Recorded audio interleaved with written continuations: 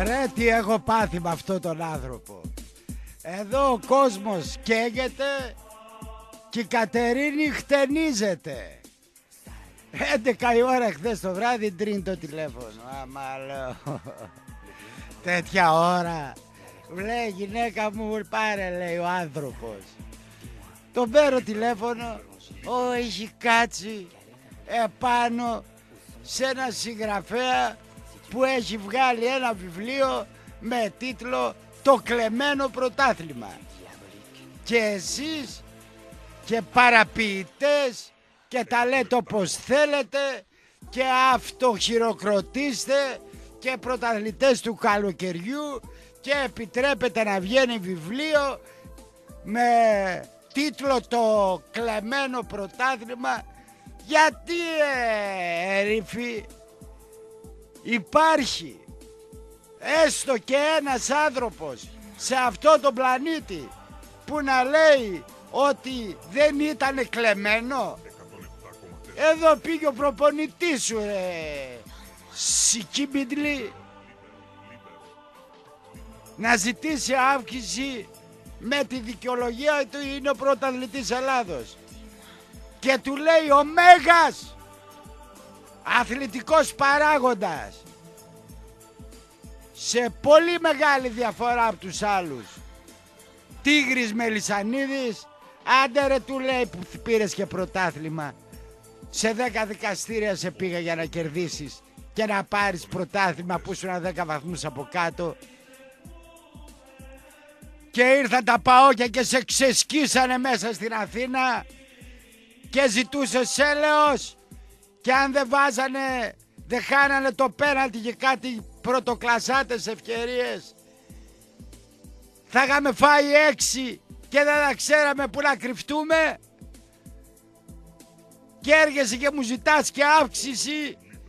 Αν έχεις ισπανικά ούμπαλα.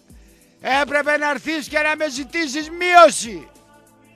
Και να πεις τα λεφτά της μείωσης πόσα είναι 200 χιλιάρικα πάρτα εσύ πρόεδρε και επειδή δεν έχεις ανάγκη επειδή σου αξίζουνε δώστα σε ένα φιλανθρωπικό σκοπό σε, ένα παιδί, σε παιδιά τα οποία έχουν ανάγκες σε φτωχές οικογένειες σε νέους που δεν μπορούν να βρουν δουλειά.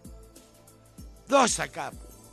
Αν είχε πατελόνια η Λουλού η μία και η άλλη Λουλού που δεν βρίσκει δουλειά στην Ισπανία δυο μέτρα κοπρίτης που έπεσε κάτω και σφάδαζε γιατί μια κορδέλα το χτύπησε στην πλάτη.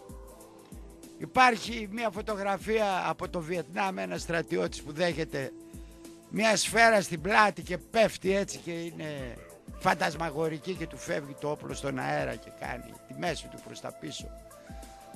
Δέχεται τη σφαίρα και πέφτει νεκρός στο βιετναμέζικο έδαφος χτυπημένος πισόπλατα από Βιετκόγκ έτσι έπεσε η Λουλού και πήρε στο πρωτάθλημα και το στην Κατερίνη και πενέβεσαι και σε πειράζει γιατί ο χριστιανός ο Σοκράτης ο φίλος ένα παιδί εδώ από το Κιλκής τόλμησε να βγάλει ένα βιβλίο το οποίο έχει μέσα την ιστορία του ΠΑΟΚ τα κλεμμένα πρωταθλήματα και κύπελα του 70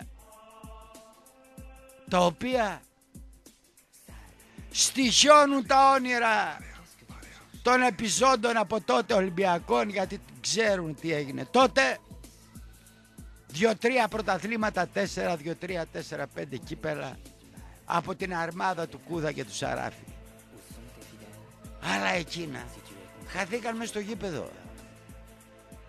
Ναι μεν έχουν μείνει στη μνήμη του κόσμου σαν τα κλεμμένα πρωταθλήματα αλλά μέσα στο γήπεδο τι γινόταν εκεί; Θέμα πρώτον, ο Ολυμπιακός πρημοδοτούσε όλες τις ομάδες που παίζανε με τον ΠΑΟΚ. Όλες.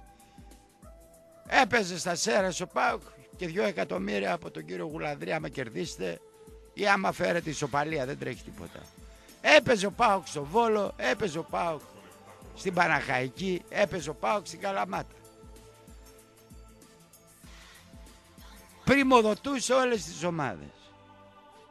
Επίσης φαινότανε ηλίου φανότερο ότι η διατησία ήταν με το μέρος του Ολυμπιακού και σίγουρα χωρίς να έχω δει ποτέ τίποτα αλλά η περιουραίουσα ατμόσφαιρα, η κοινή λογική, αυτά που βλέπαν τα μάτια μας με τους φακίδες και τους λάτσιους της εποχής Φων Κώστα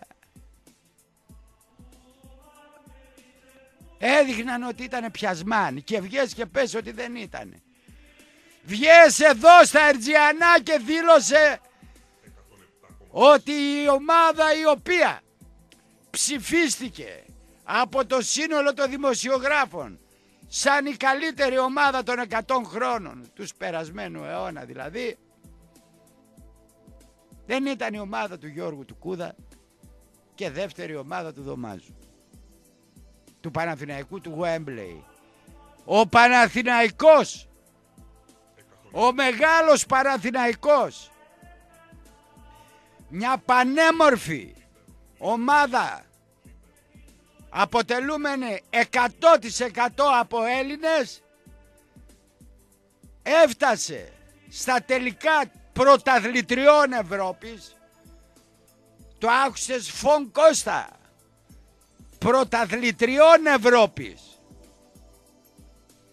Αποκλείοντας τις Ζενές της Μάλτας τη Σλάβια Πράγας την Εύερτον, τον Ερυθρό Αστέρα Βελιγραδίου και έπαιξε στο τελικό με την ομορφότερη ομάδα του πλανήτη, με την ωραιότερη ομάδα, την πιο σύγχρονη, που τέτοια μπάλα δεν έχουμε ματαδεί από καμία ομάδα του κόσμου, τρώσει το θρηλυκό έαντα, τον τελαμόνιο της Ολλανδίας, του Άμστερνταμ ή όπως το ξέρουν οι βάρβαροι τον Άγιαξ.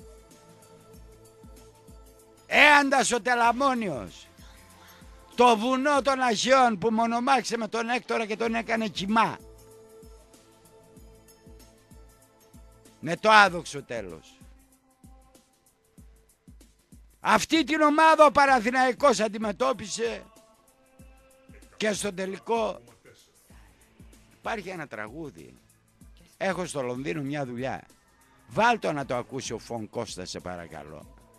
Να καταλάβει το μέγεθος της ομάδος που παλεύει με νύχια και με δόντια σμπροχνόμενος όχι από τα εξίδικα αισθήματά του αλλά καθότι κρύφο ο Αριανός κρυπτόμενος πίσω από την ΑΕΚ σου περάσει ο ίδιος και ο γιος του.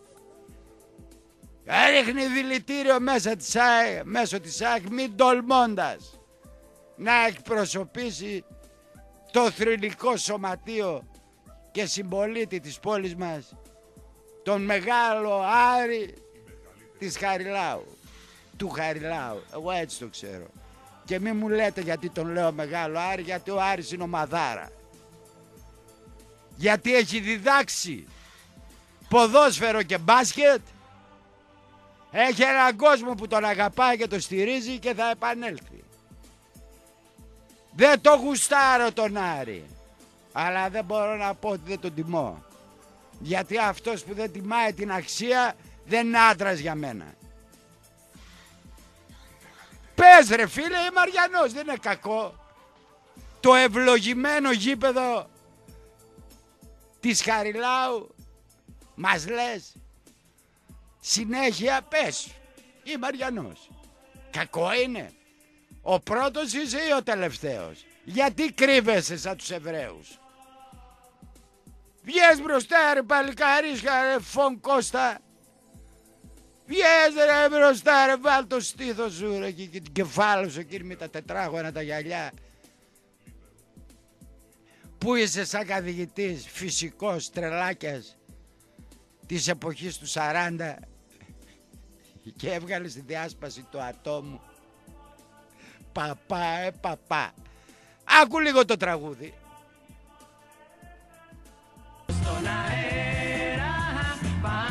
Πάντζο, ο θρηλυκός συνταγματάρχης του Ουγγρικού στρατού.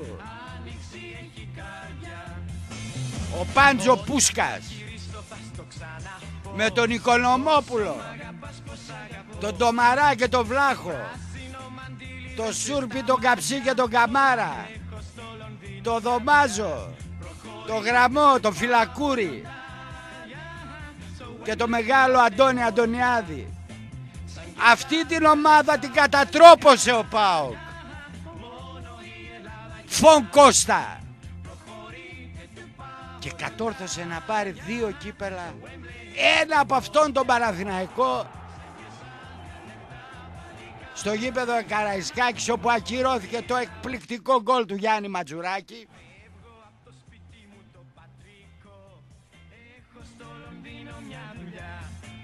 Και μειώθηκε στο 92 μπήκε το 2-1 και δύο γκολ. Το Ελάφι το Ζαρκάδι του ΠΑΟΚ ο Γιώργος Κούδας Πού να βρεις τέτοιο μπέκτηρι, πιο δωμάζω μέλες στο στούμπο εκείνον το Γιώργαρο. Και το δεύτερο, από τον μεγάλο Ολυμπιακό, του Συνετόπουλου, του Κριτικόπουλου, του Δαβουρλή, του Ιβ Τριαντάφυλλου, του Ρωμένα Αργυρούδη, του Σιώκου, του Γλέζου και του Κελεσίδη, παπά. Τέτοια κύπελα έχει πάρει ο Πάοκ. Το Γουέμπλε βάζει φωτιά και εμείς τους ξεπατώναμε. Δυο φορές τη σειρά. Γίνεται η κλήρωση ευρωπαϊκή και πρέπει ο Πούσκας να βρίσκεται εκεί και την ίδια μέρα παίζει ο Πάοκ με τον Παναθηναϊκό στην Τούμπα. Ημίχρονο 2-0 υπέρ του Παναθηναϊκού.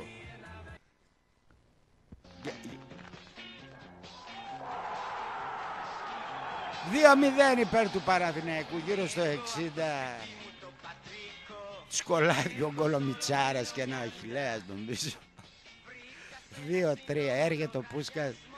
Ήταν ένας βοηθός προπονητού. Άκου Φων Κώστα, άκου. Άκου που δεν ξέρεις. Η μη μαθή αντι, αντιπαοξή. Κρυφό Αριανέ, παπά της Κατερίνης. Άκου. Είχαν έναν βοηθό προπονητή, κάποιον καλογερά. Το βρίσκεις στην προπόνηση ο Πούσκας του λέει εδώ ρε παπά. Ρε τι είναι κύριε Πάντζο; Καλά ρε κερδούσες 2-0 του λέει ρε και έχασες 3-2. Άντε ρε πάρε να κρυφτείς πουθενά του λέει δεν τρέπεζε λίγο. Λέει τι να κάνω λέει δεν βλεπότανε. Σφεντώνες φεύγανε μπροστά, δεν, δεν ήξερα τι έπαιρνε ο άλλος την μπάλα τριπλούσε τέσσερις. Τι να κάνω, τι σύστημα να κάνω Έλληνα; Έλεγε ο καλογεράς. Τι να κάνω, έπαιρνε ο άλλος την μπάλα, είχε πέντε μπροστά του, τους τριπλούς και τους πέντε. Μπαλάρα! Χάζευε ο κόσμος. Την άλλη Τετάρτη παίζει Πάοκ Παραδυναϊκός κύπελο. Τότε ήταν μία και έξω. Πάοκ Παραδυναϊκός κύπελο. Η ομάδα του Γουέμπλεϊ μετά από αυτό έφευγε για Γουέμπλεϊ να πάει να παίξει τελικό με τον, με τον Άγιαξ. Βουνό! Τι σου λέω τώρα ρε φίλε; Βουνό! Παίζεις στο αυτό πρώτο εμίχρονο 2-0 κερδίζει ο Παραθυναϊκός. Του λέει ο, ο Πούσκας του Καλόγερα, βλέπεις ρε, του λέει πως παίρνονται τα μάτς. Παπά που έχασες στον αγώνα από 2-0-3-2 του λέει ο Καλογεράς. Άκουσε με κάτι. Θα σου πω αυτό συνέβη. Παρουσία ενός δημοσιογράφου που κατόρθωσε και μπήκε μέσα στα αποδητήρια του Δωμάζου του Καμάρα και του Σούρπη σε μια γωνιά στα αποδητήρια συζητούσανε και είπε ο Καλογεράς Κάποτε ένας μεγάλος νομοθέτης, ο Σόλων, αφού έγραψε τους νόμους σηκώθηκε και έφυγε γιατί θα τον πέφτανε πάνω του, άλλαξε αυτό, άλλαξε εκείνο και τα λοιπά. Ο μεγάλος Σόλωνας και έκανε ταξίδια διάφορα. Μέσα στα ταξίδια πέρασε από τη Μπερσία τότε όπου ο βασιλιάς ήταν κάποιος κύρος. Όταν έμαθε ότι ένας μεγάλος φιλόσοφος και μονομοθέτης ο, ο κύρος λέει ο καλογεράς τον Μπάτζο βρίσκεται στην πόλη έστειλε τους ανθρώπους να τον καλέσουν να του κάνει το τραπέζι. Αφού φάγανε και σκάσανε, του λέει ο, ο κύρος του Σόλωνα, ξέρεις του λέει από πού είναι η αυτοκρατορία μου. Από τις Ινδίες μέχρι την Αίγυπτο. Μικρά Ασία αυτά, τη μισή Μακεδονία. Και έλα να σου δείξω και κάτι. Λέει τι να με δείξει, λέει ο Σόλωνας. Εντάξει, βλέπω. Βρε, αλλά του λέει να σε δείξω και κάτι, το κατεβάζει μέσα στο υπόγειο, ένα υπόγειο να πούμε καμιά δεκαριά στρέμματα. Πίτο στον Πακύρι και στο Χρυσάφι. Και αυτά λέει, τα έχω λέει για ώρες ανάγκης, για τα γυρατιά μου. Τόνι χρυσού και φλουριού και μπακυριού. Και για πες μου του λέει όπως είσαι εδώ μέσα στις λύρες. Έχεις δει πιο ευτυχισμένο άνθρωπο από μένα. Και του λέει ο Σόλωνας, λέει, ναι λέει, είδα. Του είπε δυο-τρία παραδείγματα, κάτι Ολυμπιονίκες, να μην σας το πλατιάζω. Κάτι αδέρφια που σέρνανε το, το άρμα με τη μάρα τους που ήταν επιθεία και έπρεπε να πάει στο ναό και τα άλογα δεν είχαν έρθει. Ζευτήκαν οι δύο και τους πήγανε εκεί πέρα και από την προσπάθεια πεθάνανε. Αυτοί λέει πεθάνανε λέει πιο δοξασμένοι. Ρε του λέει τι πεθάνα, δεν βλέπεις τι σου δείχνω εγώ τώρα, ποιοι, ποιοι, ποιοι ζευτήκανε τα αυτά. Και τότε ο Σόρονας τον είπε, λέει ο καλογεράς στον Μπάντζο, Φων Κώστα, μηδένα πρώτου τέλους μακάριζε. Κανέναν δεν θα λες ευτυχισμένο πριν από το τέλος του. Φων Κώστα, αντιπαοξή. Είπε ο καλογεράς, λέει γιατί μου το λες αυτό, λέει πάμε λέει στο δεύτερο εμίγρο και θα δεις. Στο 73-2 το σκορ. Τελειώνει το μάτς, γυρίζει, τον βλέπει τον καλογερά, λέει σούπα λέει Πάντζο. Μηδένα πρώτου τέλους μακάριζε. Άσε να τελειώσει το μάτς. Φεύγαν οι βολίδες, δεν μπορούσαν να τους σταματά, σταμάτα τους. Και ο μεγάλος Πάντζο ο μεγάλος υπτάμενος συνταγματάρχης ζήτησε συγγνώμη από τον Καλογερά. Τέτοια πρωταθλήματα και κύπελα έχει πάρει αυτή η ομάδα. Φων Κώστα.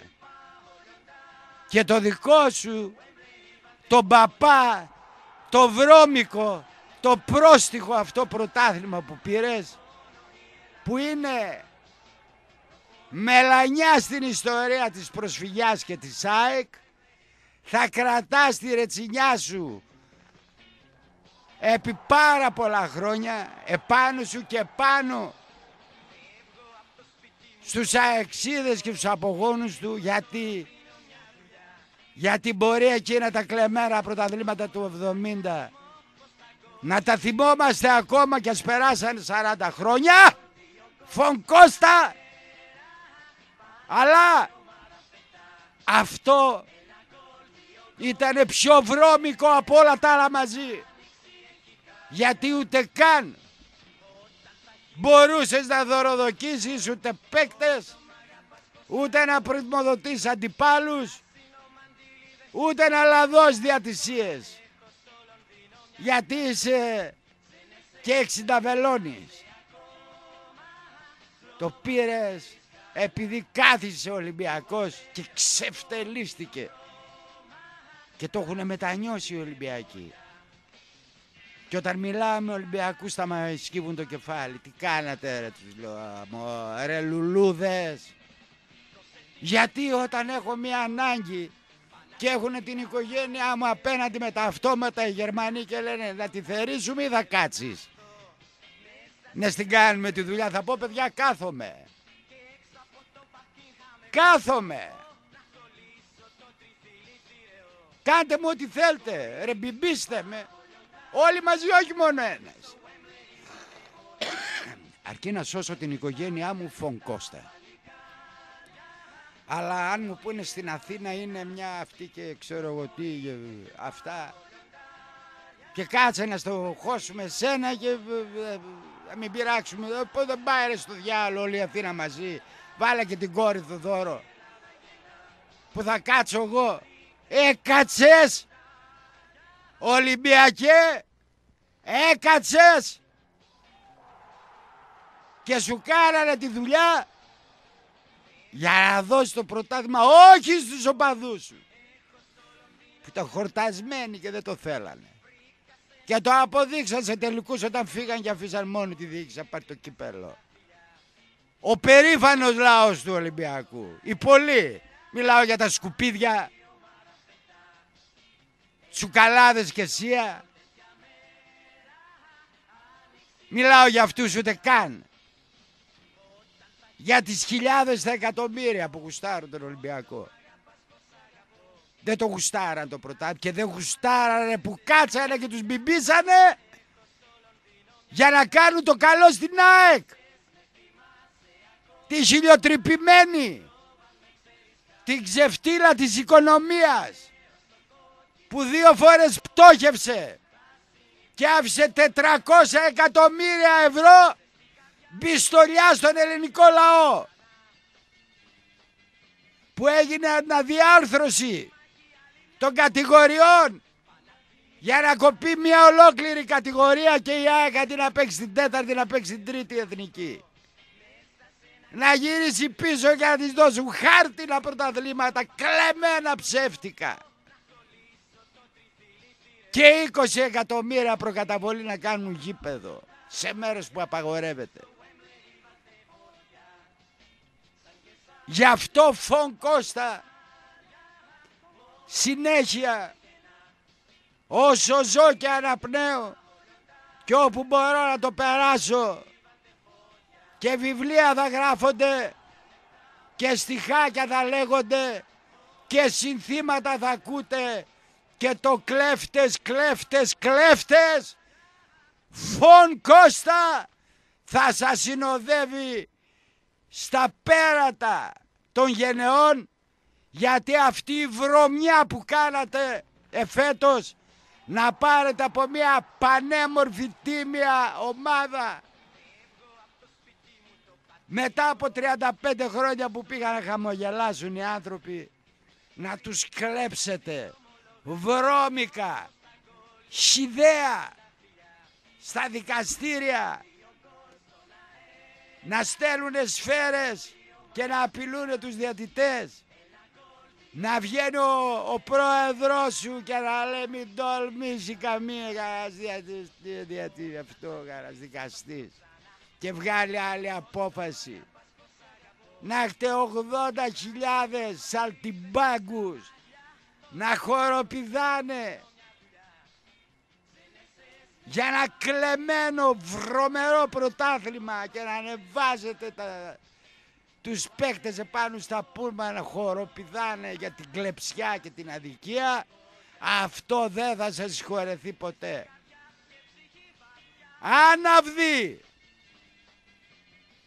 παρακολουθούσανε οι οπαδοί της ΑΕΚ το χορό του λαού του ΠΑΟΚ στο καταραμένο λέει γήπεδο, μια χαρά γήπεδο είναι. Ευλογημένο γήπεδο είναι, πανέμορφο και ιστορικό. Εκεί γίναν Ολυμπιακοί αγώνες του ΆΚΑ. Αλλά είδατε, όταν έχεις ομάδα και πηγαίνεις στο ΆΚΑ τους ξεπατώνεις. Κάνε ομάδα. Αναβδιφών. Παρακολουθούσανε το λαό να τραγουδά και να χορεύει όπως το 91 στη Γενέβη. Και το σύνθημα κλέφτες να έχει στην Αθήνα και το αγέρι που κατεβαίνει από την Πάρνη θα να το μεταφέρει μέχρι τον Πειραιά. Και να κρύβονται οι οπαδοί του Ολυμπιακού. Αυτός ρε είναι ο ΠΑΟΚ. Γι' αυτό γιγαντώνεται, μεγαλώνει μέσα από στεναχώριες, από αδικίες και από κλεμμένα πρωταθλήματα και κύπελα. Φων Κώστα. Αυτή είναι η διαφορά μας. Εγώ μοσχοβολάω και εσύ βρωμοκοπάς. Αθηναήλα, Ολυμπιακήλα, Παναθηναϊκήλα, απάτη. Εγώ περπατάω και έχω το σαγόνι μου ψηλά και το μέτωπο καθάριο. Ούτε έκλεψα το ελληνικό κράτος, ούτε αδίκησα κοσμάκι, ούτε άφησα απλήρωτους υπαλλήλους. Ούτε με τρέχασε προσφυγές για ζητάει ο κόσμος τα λεφτά του. Και στις δυσκολίες μου πάντα έλεγα Φων, κάντε υπομονή ρε παιδιά, περιμένετε. Δεν έχω τα 10 εκατομμύρια που σε χρωστάω, πάρε δύο. Κάνε υπομονή. Όλοι θα πληρωθείτε. Γιατί είμαι ΠΑΟΚ. Γιατί με λένε ΠΑΟΚ. Γιατί δεν μ' αρέσει η αδικία. Γιατί την έχω νιώσει βαθιά μέσα μου φων Κώστα. Βαθιά. Και δεν θέλω να πάθουν τα ίδια συνάνθρωποι μου γιατί είμαι άνθρωπος δεν είμαι γουρούνι. Γιατί έχω αισθήματα δεν είμαι κτίνος. Γιατί έχω καθάριο βλέμμα δεν είμαι τσιμπλιάρης. Γιατί βάζει ένα γκολ offside το πάω και μέσα όλη τη βδομάδα στα τηλέφωνα βγαίνουν τα πάω και λένε δεν μ' αρέσει ρε αυτό που έγινε. Ρε εσύ 3-0 ήταν το σκορ. Μπήκε και ένα αυτό. Όχι! Να μην δοθεί εκείνο το πέναλτι, δεν ήταν πέναλτι. Ποιος θα κάνει αυτά ρε. Καθαρός. Είμαι καθαρός. Είμαι ωραίος. Τι ωραίος που είμαι. Ωραίος ο Σέλιν. Συρίγο και Μανεβασιά. Πάμε. Όχι ακόμα γραμμές σας παρακαλώ πολύ. Θα πω εγώ πότε θα ανοίξουμε.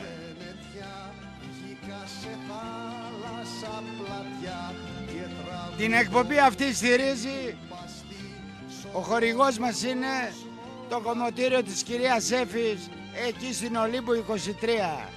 Ένα πανέμορφο κομμωτήριο που μπορεί όλη η οικογένεια να πάει και να φροντίσει την εξωτερική της εμφάνιση και ο μπαμπάς και η μαμά και τα παιδιά ειδικά για τις κυρίες έχουμε ιδιαίτερη περιποίηση με ειδικά προϊόντα Σβάρκοφ τα καλύτερα της Ευρώπης και όλου του κόσμου κομμωτήριο της κυρίας Σέφης. Δεν χτενίζουμε, ζωγραφίζουμε. Είμαστε καλλιτέχνες. Εκεί που πρέπει και εδώ που τα λέμε τα μαλλιά είναι. Θέλει ρε παιδί μου μεράκι. Θέλει να το έχεις. Να το φτιάξεις τον άλλο και να βγεις και να σου ρωτήσει όλο. Πού κουρεύτηκες, τι ρε που κουρεύτηκα. Στις κυρία Σέφης πήγα και με έφτιαξε. 5-15-0-17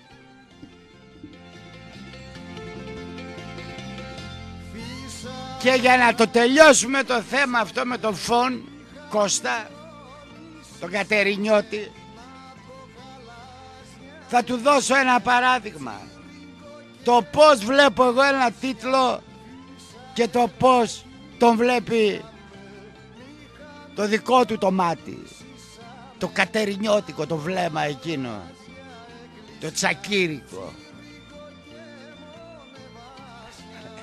Ξέρετε δεν... Άντε δεν το λέω αυτό. Πρόσεξε φων. Πώς το ευχαριστιέμαι εγώ και πώς το ευχαριστιέσαι εσύ. Εσύ είσαι αραχτός. Στη μονοκατοικία σου φοράς το... Έχεις κάνει τα μπάνια σου, έχεις βάλει ένα νεγλιζέ από πάνω σου, ένα, μια, μια αυτή να μπουρνούζει μυστήριο, ξέρω εγώ τι, παράξενο με ωραία χρώματα που σε έφερε ένας φίλος από τον Μπαγκόγκ όταν είχε πάει. Διχαλωτή σαγιονάρα έχεις βάλει το ίσκι σου βάτε 69 γιατί έμαθα αυτό πίνεις χαμηλό ποτήρι, πολλά παγάκια, γκλάν γκλούγκ να πούμε το γεμίζεις και σηκώνεις το τηλέφωνο. Παίρνεις το φιλαράκι σου που κάνει αυτή τη δουλειά και του λες Φων Κώστα έχω μάθει έχεις φέρει μια καλή Ολλανδέζα καινούρια Ναι λέει αυτός, αλλά είναι λίγο ακριβή, δηλαδή πόσο κάνει. 120 ευρώ η επίσκεψη, άλλες. Πολύ ακριβή είναι, κόψε 10 γιατί είσαι και σαν τον πρόεδρό σου. Ρε του λέει τώρα δεν τρέπεσαι λίγο τώρα κόψω 10 ευρώ τώρα από την κοπέλα. Αυτό είναι το κέρδος μου θα την πάρω και θα την φέρω τα ταξί τα αυτά και τα λοιπά. Τον Ταβά, το σπίτι που μένει το ξενοδοχείο, τι νομίζεις μένει; Θα την κρατήσεις και καμιά ώρα εσύ αργείς κιόλας μπορεί να πιάσεις και μια μισή. Μπάση περιπτώσει πέντε πάνω πέντε κάτω τα τακτοποιήτερα πούμε σε μισή ώρα drink του κουδούνι μπαίνει μέσα το άτομο δίμετρο με τα όλα του. Πας στην κρεβατάρα σου γιατί μένεις και μόνος, φων και βγάζετε τα μάτια σας. Αυτό λέγεται σεξ. Αυτό είναι το πρωτάθλημα και το κύπελο που παίρνεις. Ό,τι ευχαρίστηση θα πάρεις, αυτή την ευχαρίστηση παίρνεις από τα κλεμμένα τρόπεα. Δεν θα βγεις έξω στο καφενείο. Νιώσ που είσαι να περηφανευτείς στους φίλους σου γιατί οι άντρες τα λένε. Δεν υπάρχουν χειρότεροι άντρες από τους άντρες. Μάλιστα υπάρχει και μια παροιμία που λέει έτσι λέει και δεν το πεις λέει είναι σαν να μην το έκανες. Δεν θα πας στο καφενείο να πεις πήρα μια ζηταβή. Γιατί, γιατί και ο άλλος πήρε και ο παράλληλος πήρε και ο καφετζής πήρε και ο περιπτεράς πήρε Άλλος λίγο, άλλος πολύ, άλλος 50, άλλος 40, άλλος έχει και με 20 τώρα. Κάνας μέρα κλείσα τον Φων Κώστα να πούμε με το 120 πήραν όλοι. Κι εγώ είμαι ερωτευμένος νιός που είμαι με την γειτονοπούλα μου και ο φίλος βγαίνει με μια φίλη της και λέει το φίλο πες ρε να έρθει και η άλλη που την έχω καψούρα τόσα χρόνια να πάμε να πιούμε ένα καφέ και πείθεται η κοπέλα και έρχεται και εγώ προσπαθώ να τη μαγέψω να βγάλω το καλύτερό μου αυτό να τη γράφω πείματα να της στέλνω λουλούδια να περιμένω σε μια γωνιά απόψε περιμένει είναι εννιά και ακόμα περιμένει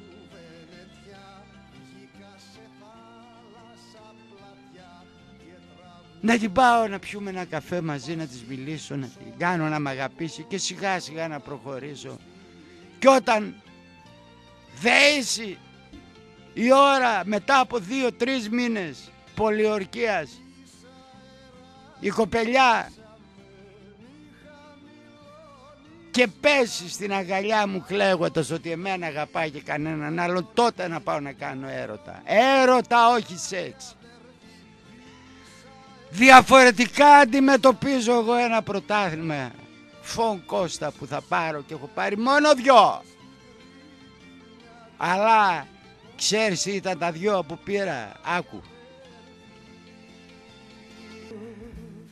Για μένα αυτός είναι ο έρωτας που κάνει ένα νιός με μια κοπελιά και ταξιδεύει στα 7 ουράνια.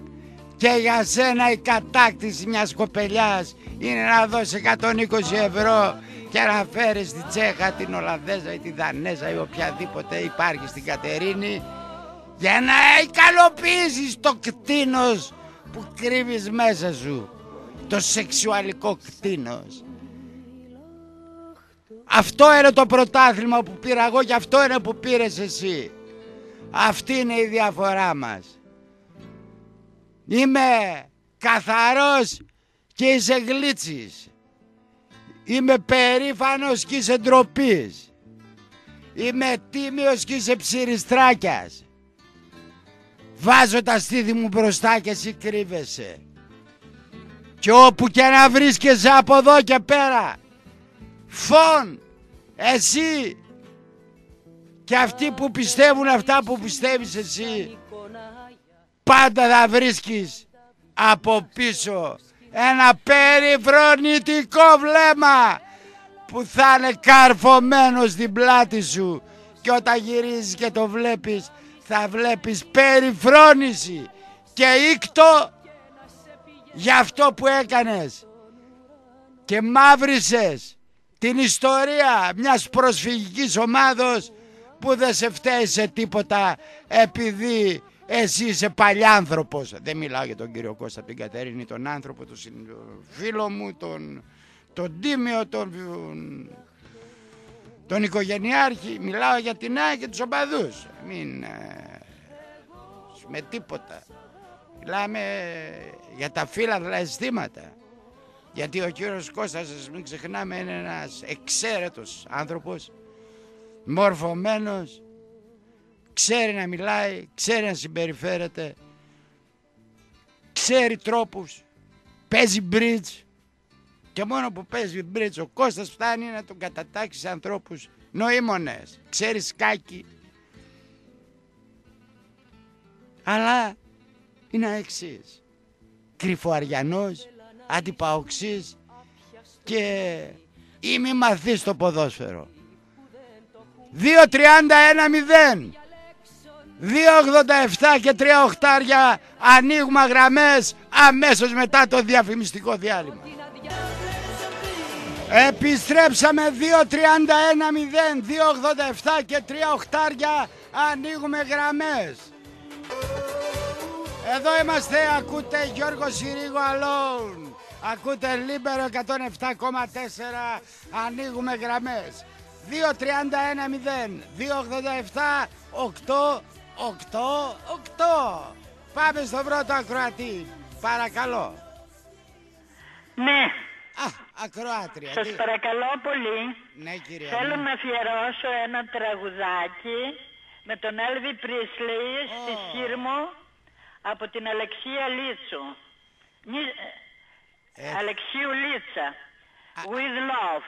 Μάλιστα. Ε... Συγχαρητήρια, θα σας γράψω ένα πείμα, γιατί εγώ είμαι ναι. ποιήτρια και τι ωραία, κυρία η φωνή σας μας συνεκίνησε. Ευχαριστούμε πολύ. Να είστε καλά. Σας βάζουμε λοιπόν το τραγουδάκι που ζητήσατε. Ευχαριστούμε.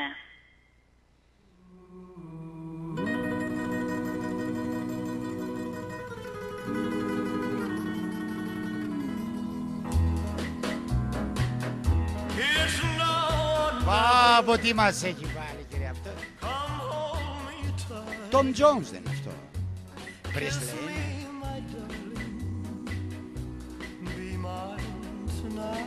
Δεν σαν υπάρχει και από Tom Jones, έτσι από περιέργεια.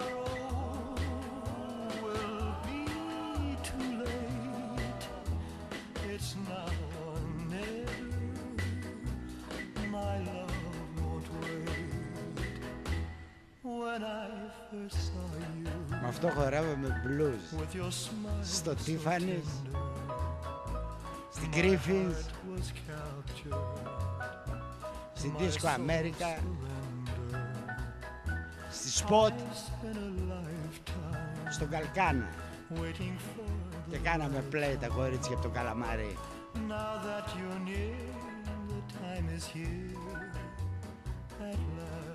Δώσ' τα γόρι μου βασιλιά. Μεγάλε Έλβη. Ας το γαλί να παίζει. Πάμε στη γραμμή ορίστε. Συρίγος καλημέρα. Καλώς το ένα. Γεια σου κύριε Γιώργη. Γιώργο Ναι. Ο Κυρκός σας θα βγει σήμερα θα βγει έτσι. Δεν υπάρχει περίπτωση. Είναι καρφωμένος από τις 9 η ώρα και Ναι. μετράει τις ώρες. Να μας πει ο Ιβάν τρελάθηκε, τον Αραούχο θέλει να τον πάρει. Από την ΑΕΚ τον Αραούχο κύριε Γιώργο να μας πει ο Κυρκός σας τώρα τι έγινε, γιατί τους παίρνει να τους... Όλη την άκρη την αγοράσει ο κύριος Ιβάν. Δεν καταλαβαίνει τίποτα κύριε Γιώργο. Έμαθα ότι θα πάρει τον Αραού για το δώσει δανεικό λέει στον Ατρόμητο Μπράβο. Έτσι, ναι. Ε, Αληθεύει φαντάσου- αυτό Φαντάζομαι Ιβάν μεγάλη τη δύναμη έχεις. Ποιος παίρνει ανήτης. Αυτός είναι ο πόνιος ο γνήσιος, ο Ιβάνος Αφίδης. Ο Ο άλλος Γλυ- είναι γιαλαντζή. Για να- Ποιος δεν υπάρχουνε; Κύριε Κώστα, λυπάμαι που είσαι εξής και είσαι και Μακεδόνας, τα έχω πει. Λυπάμαι για αυτή την ομάδα που είστε κλέπτες, είστε χειρότεροι από τον Γαύρο, κλέψατε το πρωτάθλημα του ΠΑΟΚ, τον υδρότα του παικτών του ΠΑΟΚ, το κλέψατε, θα σας το λέμε μια ζωή και βιβλία θα βγάλουμε και τα πάντα θα βγάλουμε. Θα σας διαστήρουμε παντού. Και αν θα ξαναπάρετε πρωτάθλημα κύριε Κώστα εσείς θα μου τρυπήσετε τη μύτη εμένα. Ε βέβαια Άμα ξαναπάρει πρωτάθλημα αυτή η ομαδούλα σου. Μόνο έτσι, με αυτόν τον άνθρωπο που έχετε εκεί πέρα, τον αρχιμαφιόζο, τον Μελισανίδη. Μόνο με αυτόν μπορείτε να πάρετε το Ε, πρωτάθλημα. δεν Αλλιώς υιοθητώ το αμα- αρχιμαφιόζο και παρακαλώ πολύ να το πάρετε αμέσως πίσω για να μην έχει Δεν το παίρνω και προβλήματα. γερό και σ' αγαπώ. Παίρνω, δεν το παίρνω πίσω. Γιατί είναι αλήθεια. Έφυγε τότε από τη γραμμή και εγώ σε αγαπώ, αλλά δεν ε, υιοθετώ ε, κοσμητικά επίθετα όπως αρχιμαφιόζους, διότι ο σταθμός αυτός δεν μπορεί να υιοθετήσει τέτοια πράγματα εάν δεν υπάρχει καταδικαστική απόφαση και ε, να είναι και από το δικαστήριο ότι ο κύριος είναι μαφιόζος. Πάμε να ακούσουμε τον Έλβης. 2-31-02-87-888. Α, έχουμε ανοίξει γραμμές και σας περιμένουμε. Αφήνουμε χαλή τον Έλβης και πάμε στην επόμενη γραμμή. Παρακαλώ, ακούγεστε. Χαιρετώ Οχ, τον Φον Πάπεν. Ξέρεις τι ήταν ο Φον Πάπεν; όχι. Τον Παπέν θυμάμαι, ένα center for καλό, κοντό. Και, και, α, α, άλλος ήταν εκείνος. Α, άλλος. Ο, ο Φον Πάπεν Ναι, ήταν ο μεγαλύτερος πιλότος καταδιοκτικών του Δευτέρου πα- Παγκοσμίου Πολέμου σιγά, Γερμανός δακμυγείς. που ε, έχει καταρρύψει 60 συμμαχικά αεροπλάνα. Αφ, Μάλιστα. Λοιπόν, Με αυτόν και, με ο- παρομοιάζεις. και οδηγούσε Messerschmitt. Ήταν στην Wehrmacht υπό τις διαταγές του Γκέρινγκ. Μάλιστα. Λοιπόν, ε, στα ψέματα είσαι μεγαλύτερος και, στη, και, ε, σε- και, στη, και στις ανακρίβειες, στις ανακρίβειες κυρίως. Γιατί ρε Α, φίλε; α, ε, θα σου πω. Ε, μου πες. λοιπόν, διότι ε, ενώ πήρες ε, α, ε, ε, ε, ε, ένα πράγμα που, που παραδέχομαι σε εσάς γενικά είναι ότι η προσμονή σα, ε, ε, σας έχει γίνει δεύτερη φύση. Τι εννοείς δηλαδή; Η προσμονή του πρωταθλήματος Ναι. έγινε δεύτερη φύση. Ναι. Κακό είναι δηλαδή να ελπίζω. Τα με- Ελπίζεις εντάξει. Σε πειράζει. Ελπίζεις. Αλλά με την Ενοχλώ. ελπίδα- Ενοχλώ. Με την, με την ελπίδα θα μείνεις. Έτσι λες εσύ; Ε, ναι, ναι. Τα πράγματα αλλιώς δείχνουνε. Ότι Πώς- πώς υπήρξε, είναι αλλιώς; ότι υπήρξε, υπήρξαν κάποιες αυτοκρατορίες και μετά ήρθαν οι Σερτζούκοι Τούρκοι και τους φάγαν όλους. Ε, να δούμε. Σας φάμε όλους. Να δούμε. Τρίτο σε βλέπω πάλι φέτος. Έτσι βλέπουν τα δικά σου τα μάτια. Ναι, έτσι βλέπουν. Για να, Και- πα- για να πάρουμε τη γραμμή και συνεχίζουμε να μην περιμένει ο κόσμος. Εμείς έχουμε να πούμε πολλά σήμερα. Ορίστε κύριε μου. Έλα Γιώργο μου, συντριβανίσιος είμαι. Καλώς το το θείο το συντριβανίσιο. Πώς Καλά, δεν άκουσες; Το βλέπεις. Τον άνθρωπο βγάζει πόνο από χθες. Δεν Βγάζει. του ευχαριστήθηκε και του Βαρέλα το γκολ του Πέλκα και του Βιερίνια. Ο Χατσαρίδης λέει μόνο 6 γκολ έβγαλε. Ναι. Μα αμυντικός παίκτης είναι ρε άσχετε παπά. Οχ. Άσχετο Γνωρίζει όχι. από ποδόσφαιρο. Το άσχετο είναι στη γραμμή ο άνθρωπος και δεν δεν το υιοθετώ. Πάρ το Ε, πίσω όταν σε μου λέει παρακαλώ. ο Χατζερίδης Πάρ το έβγαλε πίσω μόνο το έξι γκολ. άσχετο σε παρακαλώ. Το παίρνω λόγω της ηλικίας Συνεχίζεις. γιατί ο άνθρωπος τώρα στα γεράματα μπορεί να μην γνωρίζει κιόλα. Μικρός είναι ρε, σε, σε, σε ρίχνει 15 χρόνια. Σιγά μη με ρίχνει 15 χρόνια. 85 δεν είσαι; Εγώ είμαι 70... Ναι, 85. Αυτός είναι 70, 71. 72 είμαι εγώ. 72, να, 13 χρόνια. Ε, πιτσιρίκος είναι ακόμα και μαθαίνει. 10 χρόνια. άστονα. Μαθαίνει ακόμα. Έτσι, μια ζωή θα τους φωνάζουν κλέπτες όπως τους είπες. Ε, βέβαια. Και θα βγάζουν πόνο. Πόνο θα βγάλουν τα κρυφοαριανάκια. Κύριε Κώστας, αυτό ο κύριος Συντριβανίσιος, τον οποίο γνωρίζω προσωπικά και είναι ένας εξαίρετος κύριος. Θα απαντήσω εγώ, Βεβαίως. περίμενε. Ναι, βεβαίως. Θα Τι να απαντήσω. με απαντήσεις, τι να με απαντήσεις, τι να με απαντήσεις. Εγώ σε απάντησα μέσα στο στάδιο σου. Μέσα στο στάδιο σε ξεβράκωσα. Μήπως και αυτό πρέπει να το πάρω πίσω. Όχι. Στο, στο χάρισα γιατί σε λυπήθηκα. Τι Δεν σε άντεχα να Έπρεπε κλαις. Έπρεπε να σε, πά- να σε πάρω και τα σόβρακα σου λέω. Α, έπρεπε. Και του Μπίσμαρ και του Κάμπος και το Έπρεπε. Πέλα όπως είπες στην αρχή και ο Γιώργος. Για ξέσχισμα σου και σε λυπήθηκα. Δεν μπόρεσες. Ή- Τι Ήσουν δεν μπόρεσα, ανίκανος. ρε. Για πλάκα σε έπαιζα. Από δίπλα Ανίκανος τα περνούσα. ήσουν. Από δίπλα τα περνούσα όλα. Άσε να βγει κανένας άλλος που γνωρίζει από ποδόσφαιρος. Εσύ άσχετος είσαι παπά. Ε, παπά. Έβγε, κόψτε το στην Τριβανίσιο. Περνάει τα σκεμμένα. Δεν μπορεί δηλαδή να λέει παπά τον κύριο Κώστα, τον Φων Κώστα, το καμάρι να πούμε της εκπομπής. Μίλα, να πες στον λαό. Δύο Λοιπόν, βγήκανε Γιώργο. και οι δύο κλέφτησε είπανε. Πώς το αντέχεις ρε φίλε, δεν Άκου το να σου ήθελα. πω τώρα. Ναι βεβαίως. Α, Εκτός από τον Πάοκ δεν είδε τίποτα στη ζωή του αυτός. Τις δικές μου τις παραστάσεις δεν πρόκειται να τις δει ούτε ε, 250 χρόνια να ζήσει. Δεν ε, μίλησε κανείς για, Άντε, παρασ... μπράβο. για παραστάσεις ούτε... Τι να μας πει αυτός, τι είδε βρε αυτός εκτός από τον Πάοκ τώρα; Και- Και πού το ξέρεις τι έχει δει αυτό; Ε, δεν είδε τίποτα, μόνο τον Πάοκ ξε- ξέρει να βλέπει. Α, Ε, μπράβο. Μάλιστα, εντάξει.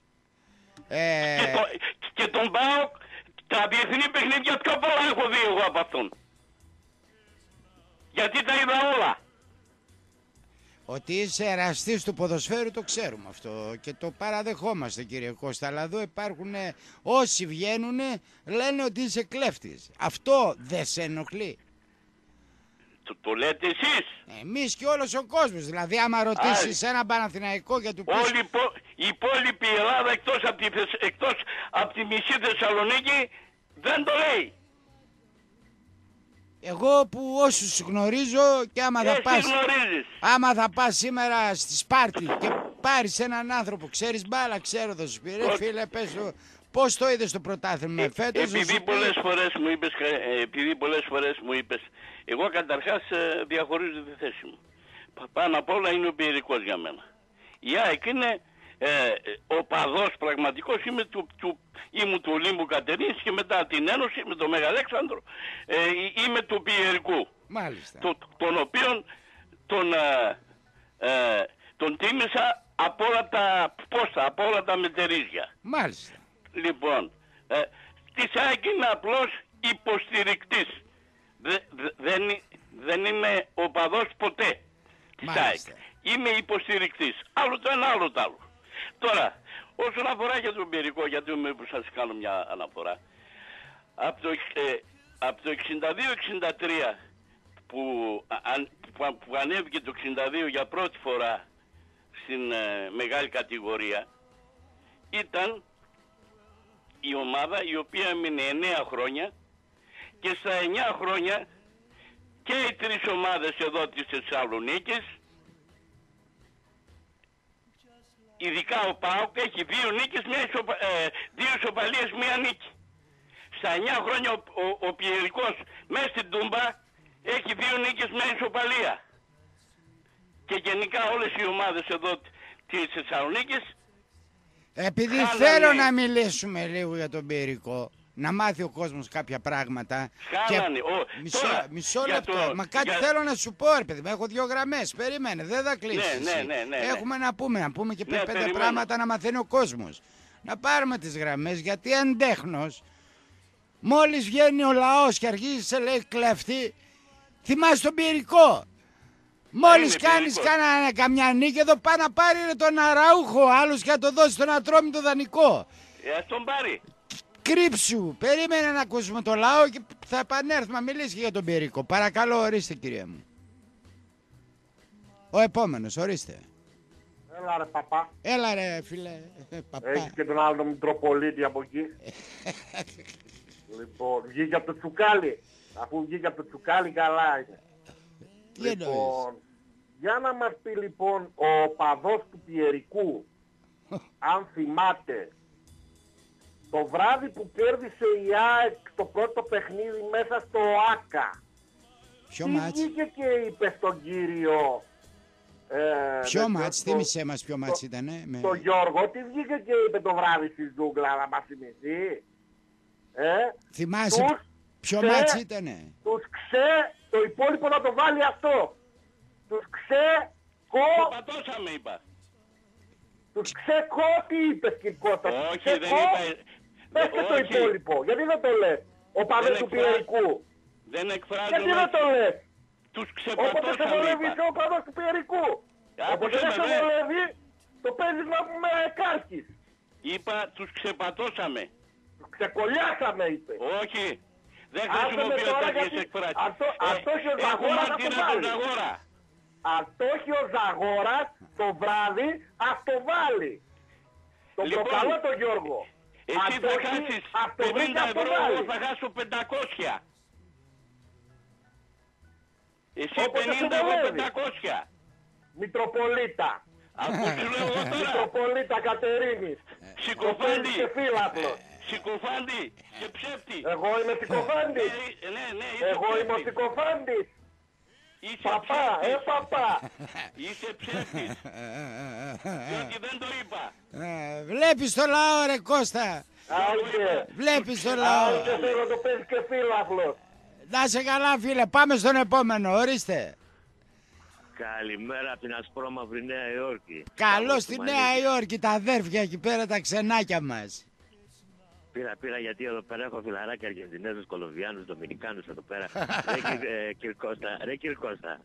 Μέχρι και αυτοί εδώ πέρα λένε ότι κλέψατε το πρωτάθλημα. Η Αργεντίνη. Και οι Αργεντινοί, Κολομβιανοί. Κολομβιάνοι, φιλαράκια. Εδώ λέει ξυπνή- την πρώτη και μια Κυριακή λέει είσαστε μπροστά τρεις πόντους γιατί επειδή λόγω του ΠΑΟΚ ε, τους έχω βάλει να ακολουθάνε και αυτοί το, τον ΠΑΟΚ. Κατάλαβες. Αυτοί έρχονται και με λένε πότε θα παίζει ο ΠΑΟΚ πιο μπροστά από μένα. Κατατσό. Έχουν μια ιδέα τα παιδιά εδώ πέρα τι γίνεται να πούμε. Λέει Μάλιστα. πώς γίνεται τώρα λέει να, να έπεσε ένας να έφεγε χαρτάκι και να έφεγε μείον τρεις και να βάλετε γκολ λέει και να σηκώνονται να φεύγουν οι άλλοι και να τρώτε μείον έξι. Και Πώς τρεις που γίνεται δώσανε αυτό, στην ΑΕΚ Μα- 9. Έφαγες Μαφία, μείον έξι είναι μαφία. εσύ. Τρία σε Έτσι, αφαιρέσανε. Από τη Greek- νίκη. Greek Mafia. Πώς, πώς, πώς; Greek Mafia, Greek Mafia. λέω, Greek γι' αυτό. Mafia κύριε Κώστα. Ναι, μπή- Greek μπήκες Mafia, εσύ κύριε με τα Κώστα. πιστόλια Κατάλαβες μέσα τι και η μάφια γίνεται. σε φταίει. Αφού το κλέψατε τώρα, ρε. Αφού το κλέψατε με τα τώρα. πιστόλια Καλά, καλά, μπήκες σαν μέσα, εξίδες, βρε. σαν εξίδες. Με τα πιστόλια βρε Κοίτα. μπήκες μέσα βρε.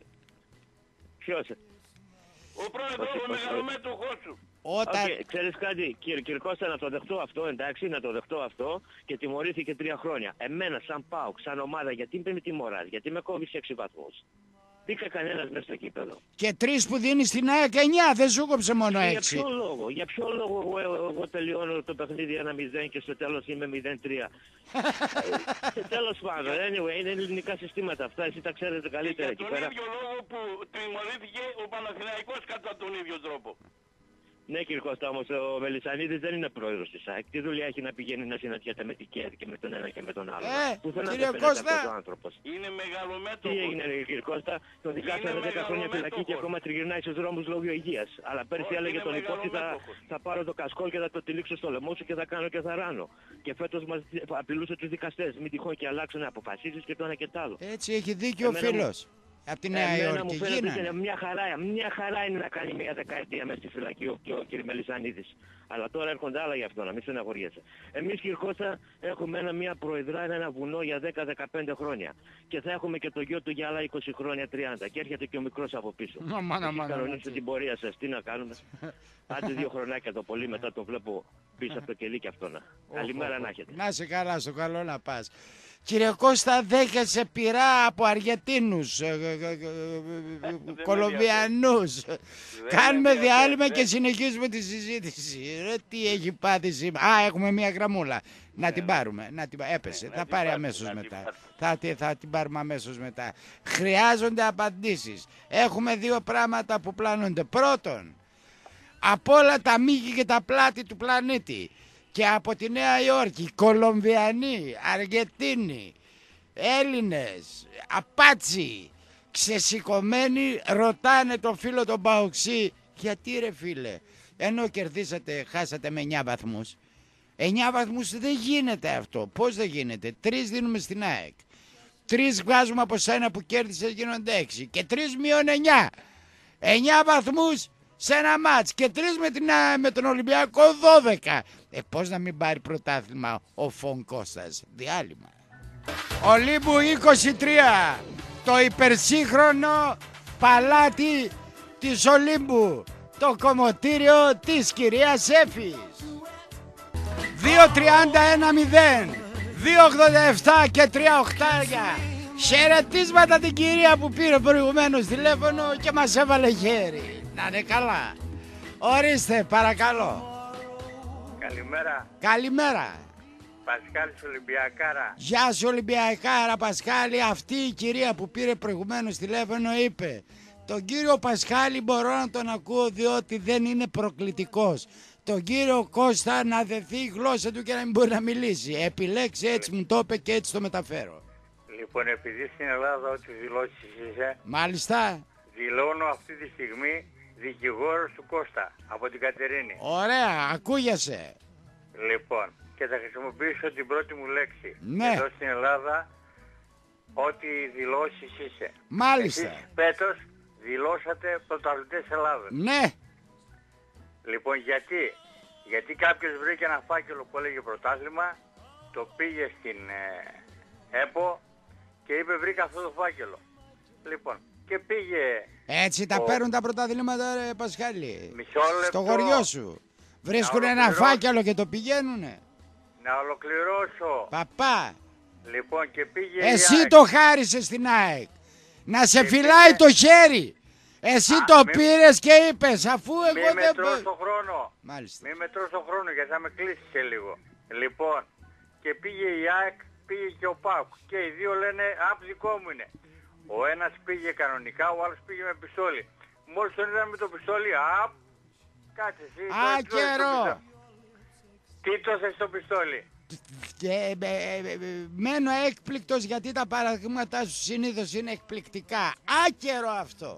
Γιατί είναι άκερο. Γιατί... Δεν μπήκε μέσα... Λοιπόν, μπήκε και τώρα κάτι με- άλλο. Ναι. Όταν μπήκε ο διαιτητής μέσα στα αποδητήρια, Ναι. το σκορ πόσο ήτανε, Ένα μηδέν. 0-0 ήταν, ένα 0 έγινε κάτω. Έχεις δίκιο. Μπράβο. Και ποιος μου είπε εμένα ότι ο διαιτητής δεν φοβήθηκε το πιστόλι και είπε άντε να του κάνω ένα 0 μήπως γλιτώσω. Αφού δεν το είδε ρε, πώς θα το κάνει; Ποιος δεν το είδε, όλος ο κόσμος το είδε. Κανένας δεν το είδε το πιστόλι, η Τι τηλεόραση λες δεν τώρα; το έδειξε. Εδώ φωτογραφία το βγάλανε. Φωτογραφία, και ναι. βγαίνανε, και, και βγαίνανε οι συνοπαδοί σου και λέγανε ότι είναι φωτομοντάζ. Ο ίδιος βγήκε και είπε συγγνώμη Ε, βέβαια. για αυτό που έκανε και οι συνοπαδοί σου επιμένανε ότι είναι φωτομοντάζ. Εντάξει, έτσι Είναι γίνεται. έτσι δεν είναι; Έτσι είναι. Μπράβο. Επομένως, ε, επομένως κύριε Κώστα, φίλε μου δεν είσαι κλέπτης. Απλά οι άλλοι το βρήκανε το πρωτάθλημα και το πετάξανε. Όσο για το κύπελο, είπα κάτι προηγουμένως. Ότι έπαιξες μπαλάρα και το πήρες, αλλά μία στο εκατομμύριο άμα δεν το έπαιρνες, θα γινόταν φίλος πόλεμος εδώ στην Ελλάδα. Και πες μου όχι κύριε Συρίγο. Γιατί το λες αυτό; Δεν θα γινόταν φίλος πόλεμος. Εάν δηλαδή έπαιζε η ΑΕΚ μπαλάρα και σου ρίχνε τρία γκολ, τι θα έκανες εσύ, θα έλεγες ήταν offside; Ρε μπαλάρα έπαιξες εσύ. Έπαιξα, λέω, αν έπαιζε η ΑΕΚ και Λοιπόν, κέρδιζε και το 2-0, θέμα- τι θα έλεγε ο ΠΑΟΚ; Το, το θέμα ποιο είναι, ότι ακόμα δεν τον είδαμε, Γιάννη τον βαφτίσαμε. Ποιον; Δηλαδή, εσύ, το πρωτάθλημα. Επι, επιμένετε ότι του χρόνου θα είστε ταμπλούχοι. Θα δούμε. Λοιπόν, Ποιος επιμένει, Άντε, εγώ άκουσες μπράβο. σε μένα να πω μια κουβέντα; Θα δούμε τις μεταγραφές, θα δούμε τι θα κάνουν οι άλλες ομάδες. Ο Ολυμπιακός Λοιπόν. δεν κινήθηκε ακόμα. Η ΑΕΚ δεν κινήθηκε ακόμα. Από την ΑΕΚ Γι' δεν αυτό σου περιμένω. λέω, αλλά ε- τον επομένως, Ολυμπιακό επομένως μην ετοιμάζεις το τηγάνι. δεν Για τον ετοιμάζω Γαύρο. τίποτα, φίλε. Ε, αυτό ακούω εδώ και τόση ώρα. Δεν μπορεί Βγαίνεις ο στην καθένας να. Τριβανίδος. Κανένας δεν είπε του χρόνου θα έχουμε double. Ποιος; Εδώ μιλάτε για βουνό. Για 20 Που- χρόνια. Προς το παρόν είναι βραχονισίδα. Βουνό μπορεί να γίνει φέτος. Προς το παρόν είναι βραχονισίδα. Εντάξει. Πασχάλη, θα το Πες μου. μετανιώσεις που πήρες το πρωτάθλημα από τον Πάο και το έδωσες στους κλέφτες. Δεν το πήρα. Στους Δεν το- κλεφταποδόχους. Δεν, δεν το πήρα από μένα, όχι. Από Εγώ σε- το διεκδικούσα κανονικά. Ναι. Από εκεί και πέρα γίνανε ορισμένες πατάτες από την πλευρά τη δικιά μου Ναι. και υποφελήθηκε η ΑΕΚ. Τι να κάνω. Ας σε αποφελούσουν εσύ. Εσύ το έδωσες στην ΑΕΚ. Πώς να υποφοληθώ Όχι. εγώ αφού με αφαίρεσανε βαθμούς ρε μεγάλε. Για, για, για πάρτι μου το έκανα. Και Για- από την... ε, στη συνέχεια δεν με βγήκε. Δεν σε ε, τι βγήκε. να κάνω τώρα; Εποφελήθηκαν Δεν με οι βγήκε. άλλοι. Εποφελήθηκαν πράγμα; οι άλλοι. Εποφελήθηκαν οι κλέφτες. Ε, φυσικά... Οι εποφελήθηκα. άμπαλοι. Αφού Και δεν τώρα ήξερες να- έρχεσαι και μου ζητάς συμμαχία. Εγώ σου είπα ότι μπαίνοντας ο διαιτητής μέσα ήταν 0-0 και ένα 0 έγινε κάτω. Τι συνέβη, θέλω να μάθω. Γιατί δεν το παίρνεις με τη σειρά. ξεκίνησε με ένα 0, γύρισε πίσω, το έκανε 0-0 και μετά το ξανά έκανε ένα 0. Έτσι είναι η σειρά ή όχι; Τι να σε κάνω ρε φίλε που στον πάγκο σου έχεις τον Κωνσταντινίδη και δεν έχεις τον Σάββατο Θοδωρίδη ή τον Δημητριάδη, εγώ φταίω. Έχεις, έχεις πέντε διαιτητές και τους πληρώνεις και δεν κάνουν δουλειά. Μήπως, ε, μήπως έχω άδικο; Όχι. Μπράβο. Είδες που έρχεσαι σιγά σιγά στα λόγια μου. Σε εκεί που έχεις δίκιο δεν μπορώ. Δεν θα με κοροϊδεύει ο κόσμος. και Άμα σου είπα χθες. εγώ λέω την αλήθεια. Και Και εκεί σου που με είπα χθες. συμφέρει γιατί. Γιατί είμαι ένας παραγωγός του ραδιοφόρου και πρέπει να λέω την αλήθεια όσο μπορώ.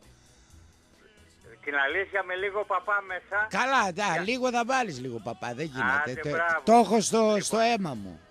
Για να, είσαι, για να παίρνεις τηλεφωνήματα από Νέα Υόρκη, από, δι- από έτσι. Ακριβώς. Και, και να λες ότι είμαι international.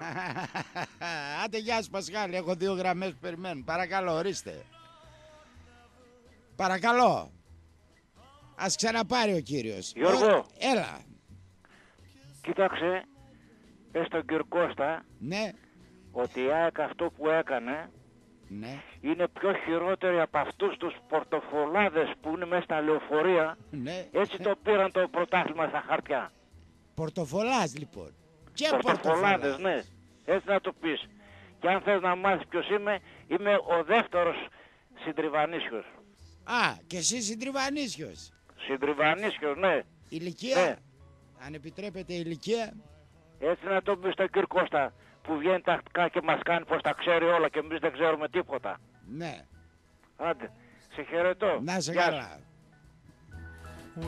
2-31-02-87 και 3 οχτάρια. Ανοιχτές γραμμές για τον κόσμο. Πέστε τη γνώμη σας ρε παιδιά. Είναι ή δεν είναι κλεμμένο; Θα πεις τώρα ξαναζεσταμένο φαγητό το ίδιο και το ίδιο. Όχι, δεν θα περάσει έτσι. Θα το λέμε να το μάθουν και οι άλλες γενιές. Πόσο πρόστιχα μπορεί να αφαιρθεί ένας ολόκληρος λαός για να πάρει ένα βρωμοπρωτάθλημα που δεν τον ανήκει. Γιατί είχε 10 και έγιναν 11. Είχε 10 πρωταθλήματα η ΑΕΚ και ένα βρωμοπρωτάθλημα και το έκανε 11. Μεγάλη δουλειά. Έγινε θρύλος η ΑΕΚ. Βρωμάει ολόκληρη και βρωμίζει και τα άλλα που πήρε πολύ παλικαρίσια μέσα στο χορτάρι. Παρακαλώ, ορίστε. Λοιπόν, Κο, αδερφέ!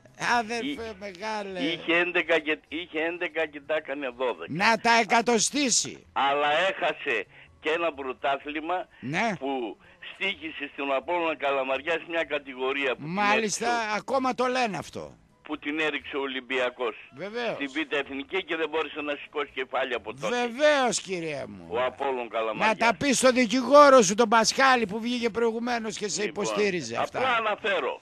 Και να αναφέρεις και το άλλο. απλά- Να αναφέρεις και το άλλο. Που βάλες φωτιά μέσα στο αντλείο, στο, στους, στους, στους πίνακες εκεί πέρα και κλείσανε τα φώτα και πήρες ένα πρωτάθλημα γιατί έκανες ένα 0 στο 87 Δεν- και ξανά δεν έγινε α- το μάτς και το πήρες; Δεν αποδείχθηκε τίποτα. Α, δεν αποδία. Μην να χάμε, παιδε. Στην ακροαματική διαδικασία δεν αποδείχθηκε τίποτα. Α, μπράβο, 87 πήρε φωτιά να πούμε το, το Άλλο πώς περίμενε. λέγεται. Λοιπόν, έλεγα λοιπόν, έλεγα λοιπόν γιατί με λες Αριανό. Φίλο Αριανό είπα, κρύφο Φίλο Αριανό. Αριανό. Να Α, πάρω τη γραμμή ε, γιατί με- εμείς Να θα τα πεις τον, πούμε. ηχο- ε, το, Ναι. μισό λεπτό, να πεις στον ηχολήπτη Ναι. να βάλει το τραγούδι του Πρίσλι Surrender. Σαρέντερ. Ναι. Σαρέντερ για το Φων Κώστα. Ορίστε ο επόμενος. Περίμενε εσύ στη γραμμή. Παρακαλώ. Γεια σας. Γεια σας. Γεια σου Γιώργο. Βαγγέλης Φορτηγατής από Γερμανία, αλλά αυτή τη στιγμή είμαι στη Γαλλία. Έκατσα να κάνω διάλειμμα να φάω και μου φύγανε και τα φαγητά από το στόμα μου, τα νεύρα μου και όλα. Εκείνο τον Πασχάλη ρε, τον προπληκτικό, αν τον Κυρκός θα συγχωρείτε, Ναι. εντάξει. Ο άλλος είναι τελείως προπληκτικός. Ρε παιδί μου. Τελείως. Ναι, είναι. Ε, ε, εντάξει, βγαίνει δηλαδή να μας πάσει τα νεύρα. Τι είναι αυτές οι ηλικιότητες που μας έρνει να πούμε, δηλαδή, όχι μόνο εγώ, από ό,τι βλέπω όλοι τα έχουν πάρει με αυτόν τον άνθρωπο και σε άλλους σταθμούς που παίρνουν. Α, δεν ξέρω σε άλλους, δεν ακούω άλλους σταθμούς. Ε, τον ακούω, τον ακούω συχνά. Α. Από πολλούς το στείλανε βασικά. Ναι. Μόνο Εδώ, εδώ τώρα εδώ για να είμαι ακούγεται. ειλικρινής ο άνθρωπος. Εντάξει, δηλαδή ναι, είναι ναι, ναι, ευγενέστατος. μιλάει ευγενικά, αλλά, ευγενικά ναι. μας, μας μαχαιρώνει ευγενικά. Ευγενικά, Εντάξει, δεν ρίχνει κατάλαβα. μαχαιριά, σουβλιά, σουβλιά σου ρίχνει. Έτσι ακριβώς. Τι, και ο Κυρκός σας τι είπε, τρίτη θα βγούμε. Άρα Κυρκός τα κακομύρια μου και εσύ. Γιατί φέτος εσείς τι βγήκατε; Αν περισσότερο το πρωτάθλημα που σε να παιχτεί και ο Ολυμπιακός θα σας περνούσε. Εσείς ήσασταν τρίτη. Δεν μου λες τι Λοιπόν. κουβαλάς ρε φίλε, με την ταλίκα; Ε, ρολούς, ρολούς κουβαλάω. Ρολούς από αυτά τα ρολά που πέσανε και χτύπησαν την πλάτη να πούμε του προπονητή. να σε καλά, καλά να περνάς εκεί που βρίσκεσαι να βγάζεις το Έγινε, ψωμάκι σου χαιρετίσματα. τίμια και με Μια υδρότα. χαρά. Γιατί οι φορτηγατζίδες επιτελούν τεράστιο έργο κύριε Κώστα. Και κάθε δεκάρα η οποία βγαίνει θα το βάλουμε το τραγούδι με το που θα πάμε για διάλειμμα. Ε, ε, πριν πάμε στο διάλειμμα. Κύριε Κώστα, Έλα. ε, βλέπεις ότι το άδικον ούκ ευλογείται. Λοιπόν, άκουσε με τώρα. Ναι. Λοιπόν, ε, έλεγα για τον Πιερικό, για το, το Χαριλάου το γήπεδο. Έπαιξε πέντε φορές ο Πιερικός. Τ- Τρεις φορές. Ε, ε, με Κλεάνθη Βικελίδη προπονητή το 1962. Ο Πιερικός τε- με κλάνθη Πικελίδη. Με Κλεάνθη Βικελίδη Μάλιστα. προπονητή. Ο Πιερικός. Ένα- ο Πιερικός. Μάλιστα. Ένα θρηλυκό ποδοσφαιριστή. Ε, ο- ο- όχι, με Κλεάνθη Βικελίδη. Ναι. ε, με- με Κλεάνθη Βικελίδη. Τον είχαμε προπονητή 61-62 όταν ανεβήκαμε. Στη συνέχεια κάναμε δύο αγώνες μπαράζ. Με Ολυμπιακό Κοζάνης, με Ηρακλή Καβάλας. Κα- Κερδίσαμε και τα δύο τα παιχνίδια. Πού γίνανε Μετά αυτά; το, στο Χαριλάου. Ποια, ε, τι σκορ το ένα, τι σκορ το άλλο; Το, το- με τον Ολυμπιακό Κοζάνης έληξε με, με Πορτογάλο διαιτητή. Αχα. Ε, απέβαλε δύο παίκτες Κοζάνης και έναν παίκτη του Πιερικού. Έληξε ε, με τον Ολυμπιακό Κοζάνης 1-0. Και Μάλιστα. με τον Ηρακλή Καβάλας ε, ε, έληξε 2-0.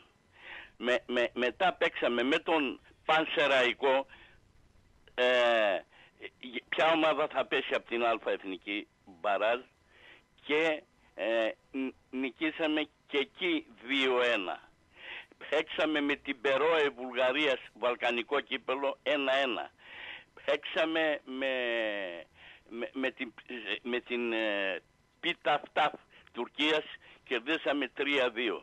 Επομένως αυτό, το, αυτό ε, στη δική μου τη συνείδηση είναι γούρικο και αγαπητό γήπεδο. Αυτό δεν σημαίνει ότι, είναι, ότι, ότι είμαι αριανός. Μάλιστα. Κατάλαβες; Μάλιστα. Λι- λοιπόν, ε, ε, είναι ένα γήπεδο που η, η ομα, η- το ποδόσφαιρο της Κατερίνης οφείλει την ύπαρξή του χάρη αυτού ε, του γηπέδου που γίνανε οι αγώνες αυτοί και ήταν νικηφόροι. Απλά τα πράγματα. Πολλοί παρομοιάζουν ε, τη μεγάλη ομάδα της Λάρισας η οποία κατέκτησε κύπελο και πρωτάθλημα με την μεγάλη ομάδα του Πιερικού και λένε ότι ε, η- ο κάμπος είναι πολύ πιο ποιοτικός από τον κάμπο της Κατερίνης. Κοίταξε να δεις. Ε, η Λάρισα πριν ε, τη δεκαετία του 80 που έκανε αυτό που έκανε, ερχόταν εδώ πέρα και, και έτρωγε 6, 5, 7, 8 οι ομάδες τους. Ε, μετά με, με γκαντόνια και με βιοκαρπέτ μεγαλουργήσανε.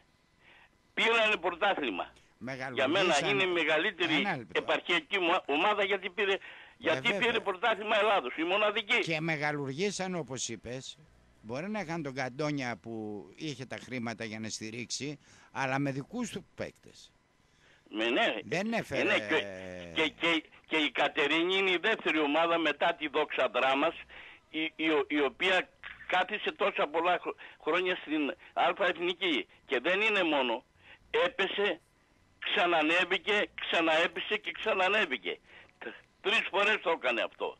Και να σου πω και κάτι άλλο. Σήμερα στην Ελλάδα στην μεγάλη κατηγορία στην Α Εθνική από την, απ' την Κατερίνη παίζουν από, την, από τον νομό Πυρίας παίζουν οι περισσότεροι ποδοσφαιριστές. Π- Πάνω από 10 παίκτες παίζουν. Ακόμα και σήμερα που ο Πιερικός δεν είναι στα καλύτερά του, Τι πραγματικά τσα καλύτερα είναι, ε, σώθηκε τε- τελευταίο παιχνίδι ε, για να μην πέσει και από τη γάμα εθνική και παίζει στο τοπικό. γιατί έτσι; Δεν, Γιώργο, δεν ε, έχει καλούς ε, παράγοντες ε, αυτόν τον ε, καιρό κάποιον να ακριβώς. στηρίξει. Ε, αλλά, αλλά θα σου πω και το άλλο. Το, κατερι... το επαρχιακό ποδόσφαιρο βούλεξε από τη στιγμή που ε, οι πράξεις των αγώνων ξεκινήσαν με 60-40. 60 ο 60-40 κυπεδούχος βεβαίως έτσι ήταν. και 40 ο φιλοξενούμενος. Το θυμάμαι. Εγώ με Ολυμπιακό και Παναθηναϊκό που παίξαμε ε, πέμπτη Κυριακή έφερα ένα 200 δραχμές. Το- Το μισό μπάτζετ. Μάλιστα. Μετά το 60-40 ε, το 60-40 έγινε 90-10. 70-30 και- και μετά ε, εξαφανίστηκε τελείως. Που σήμαινε θάνατος στο ποδόσφαιρο της επαρχίας. Υπήρ- Απλά τα πράγματα. Υπήρξαν όμως ομάδες οι οποίες είχαν καλό προγραμματισμό όπως η Ξάνθη ας πούμε που δεν... ε, Η Ξάνθη είχε τον Πανόπουλο. Ναι, τη Εμείς στήριξε. δεν είχαμε τέτοιο παράγοντα. Η Ξάνθη είχε την τύχη ε, ε, να έχει τον Πανόπουλο που, που ήταν η ίδια σκόντα Ξάνθη που κυνηγήθηκε ανηλαιώς, που, που τον κάψαν το, το προπονητικό κέντρο και ήθελε ο άνθρωπος να σηκωθεί να φύγει από την Ξάνθη και να δίνει στην καβάλα τα παιχνίδια αν θυμάσαι. Αφού άλλαξε χρώματα στην ομάδα ρε Κώστα, ο κόσμος πηγαίνει στο ποδόσφαιρο και έχει μια ιδε- ιδεολογία. Άλλαξε το όνομα, το έκανε Σκόντα Ξάνθης, εντάξει. Παίρνει μια διαφήμιση μεγάλη, ήθελε να παντρέψει τις επιχειρήσεις του με μια Και ομάδα. αυτό ενόχλησε; Όχι.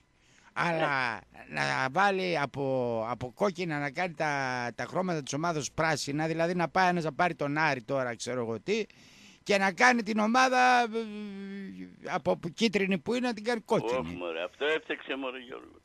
Απομάκρυνε τον κόσμο. Αυτό έφτιαξε. Δεν την Άσε αγαπήσανε τώρα. την ομάδα. Α, για βλέπεις, Άσε, έχει βρε. κόσμο η, η Ξάνθη που είναι... Δεν μου λες. Ναι, Μπρε να σε ρωτήσω το άλλο. Να με ο ρωτήσεις, Ατρόμητος ναι. Περιστερίου. Το Περιστέρι είναι ο μεγαλύτερος δήμος Αττικής. ναι, Ε, συμ, ε, φέτος πήγε καλά το Περιστέρι; πολύ καλά πήγε. Πολύ καλά. Ναι. Και, ε, ο, ο κόσμος; Ο κόσμος Χίλια είναι άτομα. στον Ολυμπιακό, στον Παναθηναϊκό και στην ε, ΑΕΚ. χίλια άτομα. Χίλια άτομα, ακριβώς. Είναι Ε, το τι, ίδιο ε, η ε, Ξάνθη. Η Ξάνθη, μια πόλη με ομάδα και τα γύρω χωριά να μην μπορούν να μαζέψουν 500 άτομα. Τους έκοψε οποιαδήποτε ρομαντική επαφή έχει ο οπαδός με την ομάδα. Εάν έρθει εμένα ο Σαββίδης σήμερα και μου αλλάξει τα χρώματα και το ασπρόμαυρο μου το κάνει πρασινοκίτρινο, σε πληροφορώ δεν θα πατήσω στο γήπεδο. Μπρε Γιώργο, όταν υπήρχε η ασπίδα Ξάνθης Ναι. και ο Ορφέας Ξάνθης, Ναι. είχα, η, η- η μία ομάδα ε, εί- είχε άσπρα χρώματα, η άλλη είχε πράσινα. Τι, τι παραμύθια είναι αυτά τώρα; Και έγινε η Ξάνθη που έβγαλε με το κόκκινο. Ε, και λοιπόν, Το πράσινο ήτανε, είναι το χρώμα της Σκόντα, όπως ξέρεις, αν ξέρεις. Και γι' αυτό άλλαξε τα χρώματα της, της ομάδος. και, και, και, και αυτό ήταν αιτία, Βέβαια. ε, νομίζεις Πολύ ότι... μεγάλη αιτία σε Βρε, πληροφορώ. δεν τον θέλανε επειδή, ε, επειδή, επειδή ήταν ξένος ρε, τον κυνηγήσανε βρε Γιώργο. Και αυτό. Ε, Αλλά αυτό πε- ήτανε, ρε. εγώ που μίλησα με φίλους από την Ξάνθη, είπαν ότι αυτό παγκόσμια δεν έχει γίνει πουθενά. Ομάδα να αλλάξει χρώματα χωρίς λόγο. Δηλαδή να πας στον Ολυμπιακό τώρα να τον αλλάξεις τα χρώματα.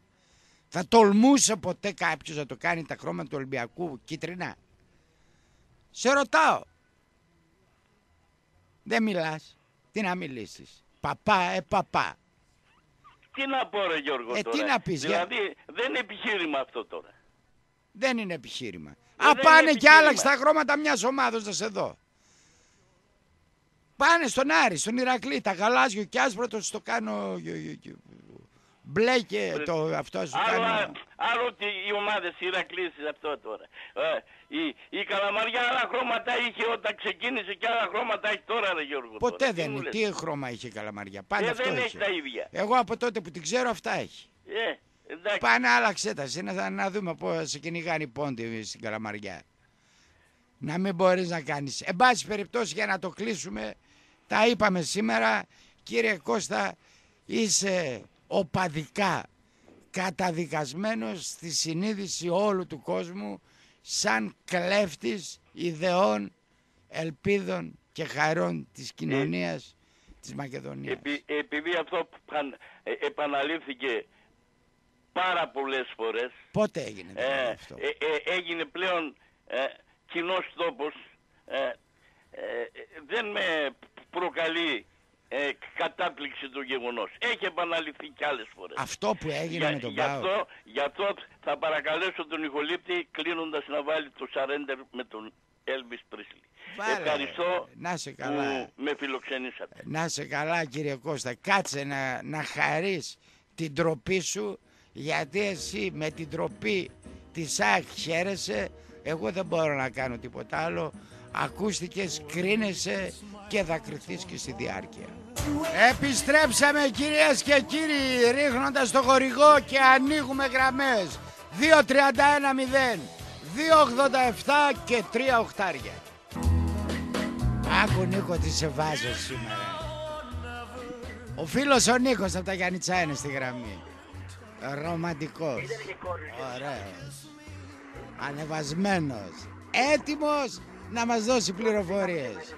Νίκο, μικροφωνίζει κάτι ραδιόφωνο, έχεις δίπλα σου τι έχεις, κάτι έχεις. Τα κλείνω όλα. Κλείς τα μάξι μωρό με μου. βρίσκει. Και θέλω Περνάω να... από τις, περνάω από τις ιδιόκτητες εγκαταστάσεις σε Ρήγος ΑΕ στο Πολύκαστρο. Άντε ρε, μέσα δεξιά άμα θα δεις, θα δεις εκεί πέρα το τέρας που λέγεται εργοστάσιο Γίγας του Γιώργου του Σερίγου και των συνεργατών Ναι. του. Διαβάζω Το κάτι βλέπω. εδώ στο, στο ΠΑΚΟ 24 και θέλω κύριε Νίκο την... ε, τι κάνεις ρε, τι είναι αυτά τα φουφού μέσα ρε; Ε, μέσα στο αυτοκίνητο είμαι. Τι θες να έχει δηλαδή; Και αυτά τι έχεις, κανέναν υποπόταμο έχεις μέσα; Κάτσε να κλείσω τα παράθυρα για να Άντε, μην μπράβο. ακουγόμαστε. Ακούς; Ναι, ακούω πολύ καθαρά. Γράφει λοιπόν ο, το ΠΑΟΚ 24 την επιθυμία του λέει να επιστρέψει Ναι. στον ΠΑΟΚ εξέφρασε για μία ακόμα φορά. Δηλαδή το έχει ξαναπεί. Ο Δημήτρης Ναι. Χατζησαΐας παίρνοντας παράλληλα θέση για τα δημοσιεύματα που το θέλουν να βρίσκεται στο στόχαστρο αγγλικών ομάδων. Μάλιστα. Το αν θα επιστρέψω στον ΠΑΟΚ είναι κάτι που εξαρτάται αποκλειστικά από την ομάδα. Εγώ Ναι. έχω ένα ακόμα χρόνο συμβόλαιο. Νιώθω έτοιμος να διεκδικήσω την ευκαιρία μου και περιμένω. Και εγώ να ενημερωθώ αν θα είμαι ανάμεσα στους παίκτες που θα είναι στην προετοιμασία του ΠΑΟΚ. Τόνισε χαρακτηριστικά ο 25χρονος Στόπερ στη συνέντευξη που παρηχώρησε στο Live Sport. Ενώ σε ό,τι αφορά το πού θα ήθελα να αγωνιστεί στην περίπτωση που δεν επιστρέψει στην Τούμπα, απάντησε. Εγώ θέλω να είμαι στον ΠΑΟΚ. Περιμένω να ξεκαθαρίσει οριστικά το τοπίο και έπειτα θα κληθώ αναλόγως να αποφασίσω για το μέλλον μου. Σε ό,τι αφορά το ενδεχόμενο της Χαλ και της Φούλαμ που το προ... προς το πρόσωπό του απάντησε. Ποιος δεν θέλει να αγωνιστεί στο εξωτερικό. Για κάθε ποδοσφαιριστή είναι κάτι ονειρικό να πάρει μεταγραφή σε ομάδα του εξωτερικού. Και μόνο που ακούγεται το όνομά μου για ομάδες που έχουν τη δική τους ιστορία στο αγγλικό ποδόσφαιρο για μένα είναι τιμητικό. Σε ακούω. Το τοπίο στον ΠΑΟΚ έχει ξεκαθαρίσει. Ο Χαϊτζησάιας δεν χωράει στην ομάδα. Για Μετά να την δούμε έλευση το, το, Χατζηδίδη. το τοπίο που ξεκαθάρισε τι λέει αυτή τη στιγμή. Λέει Βαρέλας ένας, έτσι. Ναι. Ο, το, πώς το λένε το Ρώσο αυτό ένα που πήραμε τον Ρο- το, Κατσερίδης. Γαζαρίδης δύο αυτοί λόγω Ναι. του μπάτζετ που ξοδεύτηκε για να τους αποκτήσουν και τα, την αξία τους πιστεύω να είναι οι δύο μόνιμοι center back.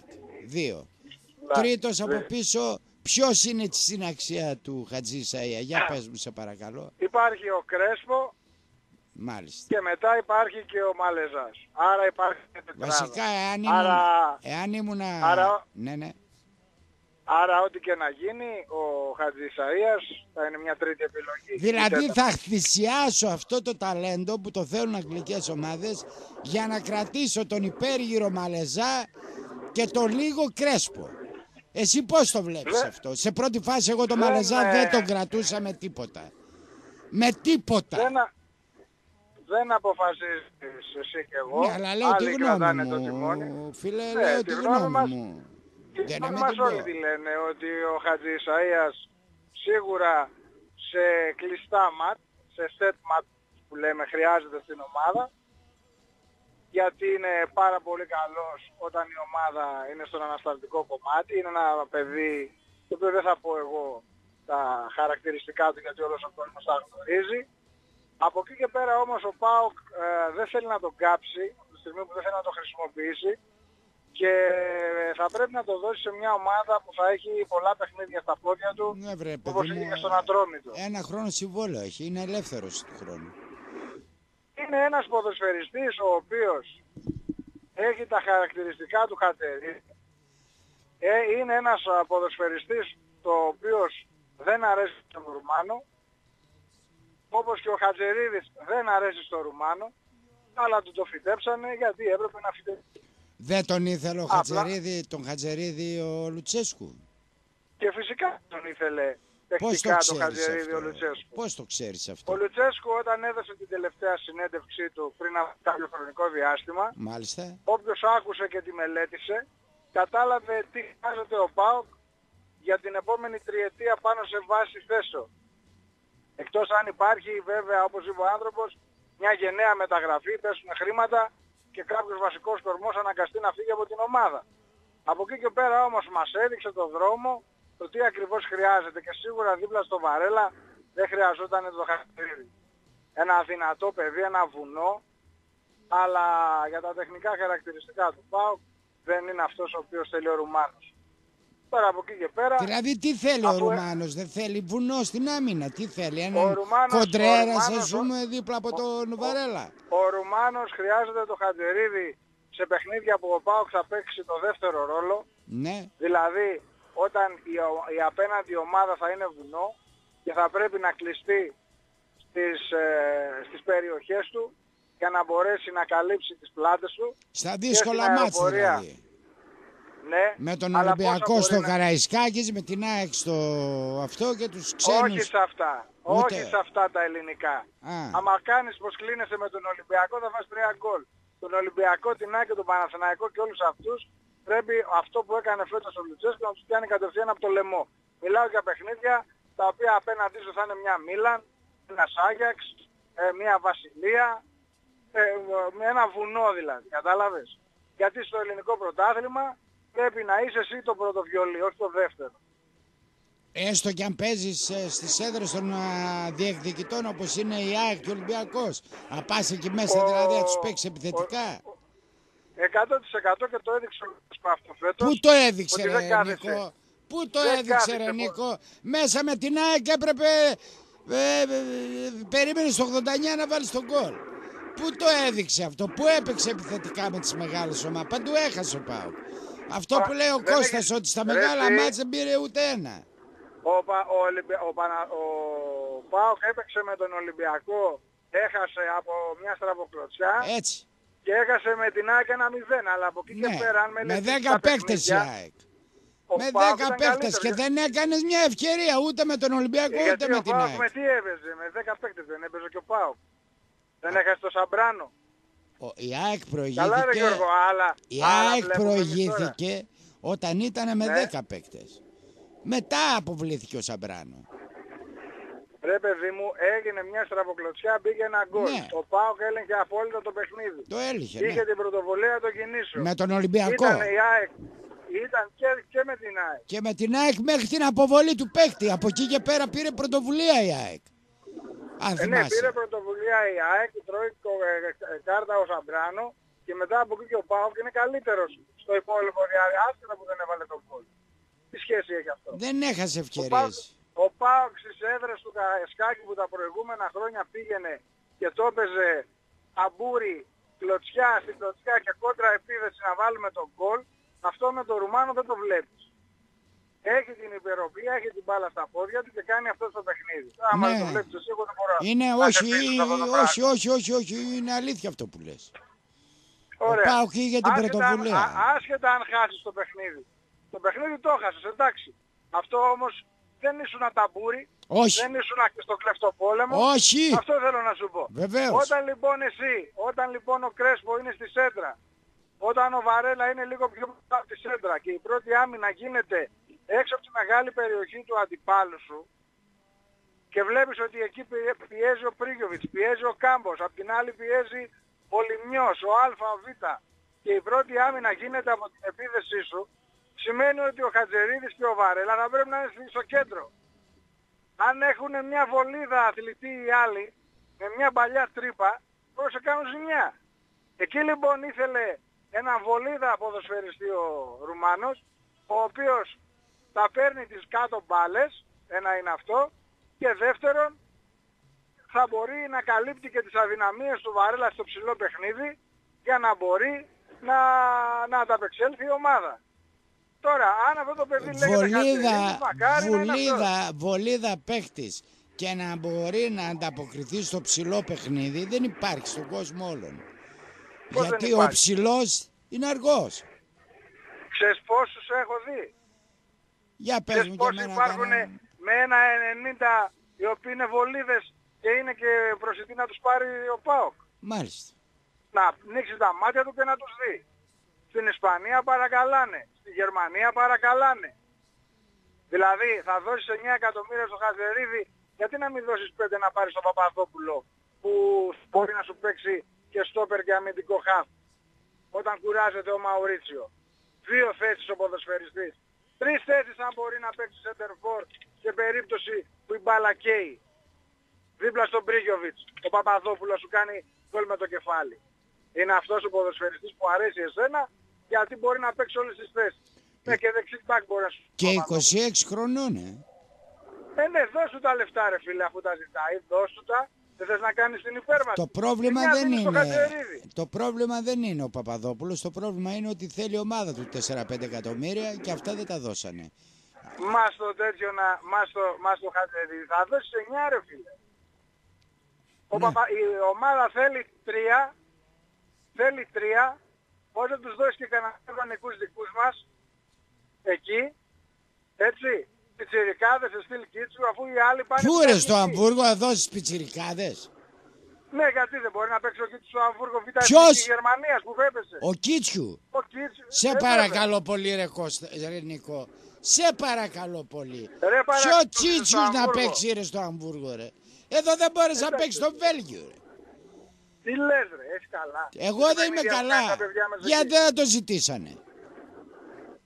Τέλος πάντων, το θέμα Γιατί μας δεν είναι τους να- δώσε ζήτησε τον το Νουάρτα. Χαρίσι και τον Δώσε Κίτσου, τον ρε. Νουάρτα, δώσε τον Χατζησαΐα ρε φίλε. Ναι. Δώσε τον Νουάρτα, δώσε τον Χατζησαΐα. Θα και δώσω βάλε τον Παπαδόπουλο. Νουάρντα ρε. Τον Νουάρντα δηλαδή ρε. Το τώρα καλύτερο μου παίκτη να δώσω ρε. Τι ωραίος είσαι. ρε. Αφού δεν θέλει να παίξει την ομάδα ο Κίτσου. ε. Αφού λέει θέλω να παίξει τον ΠΑΟΚ. Έλα ρε τώρα ρε εσύ. Καταρχήν έχει το παιδί Μουντιάλ μπροστά του. Ναι. Άμα κάνει ένα Μουντιάλ να πούμε με το χέρι του στα ύψη.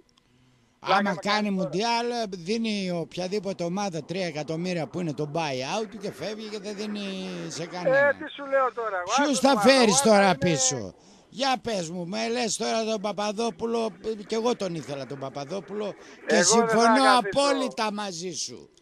Αν ήταν Εγώ να δεν θα πάρω κα- τον Κατσαρίδη που θα μου στοιχήσει 9 εκατομμύρια την τριετία, αυτά θα τα έδινα να πάρω τον Παπαδόπουλο που είναι και 26 χρονών και μπορεί να παίξει και αμυντικό χαφ και center for όπως είπες και center back μπορεί να παίξει και δεξιά μπορεί να παίξει.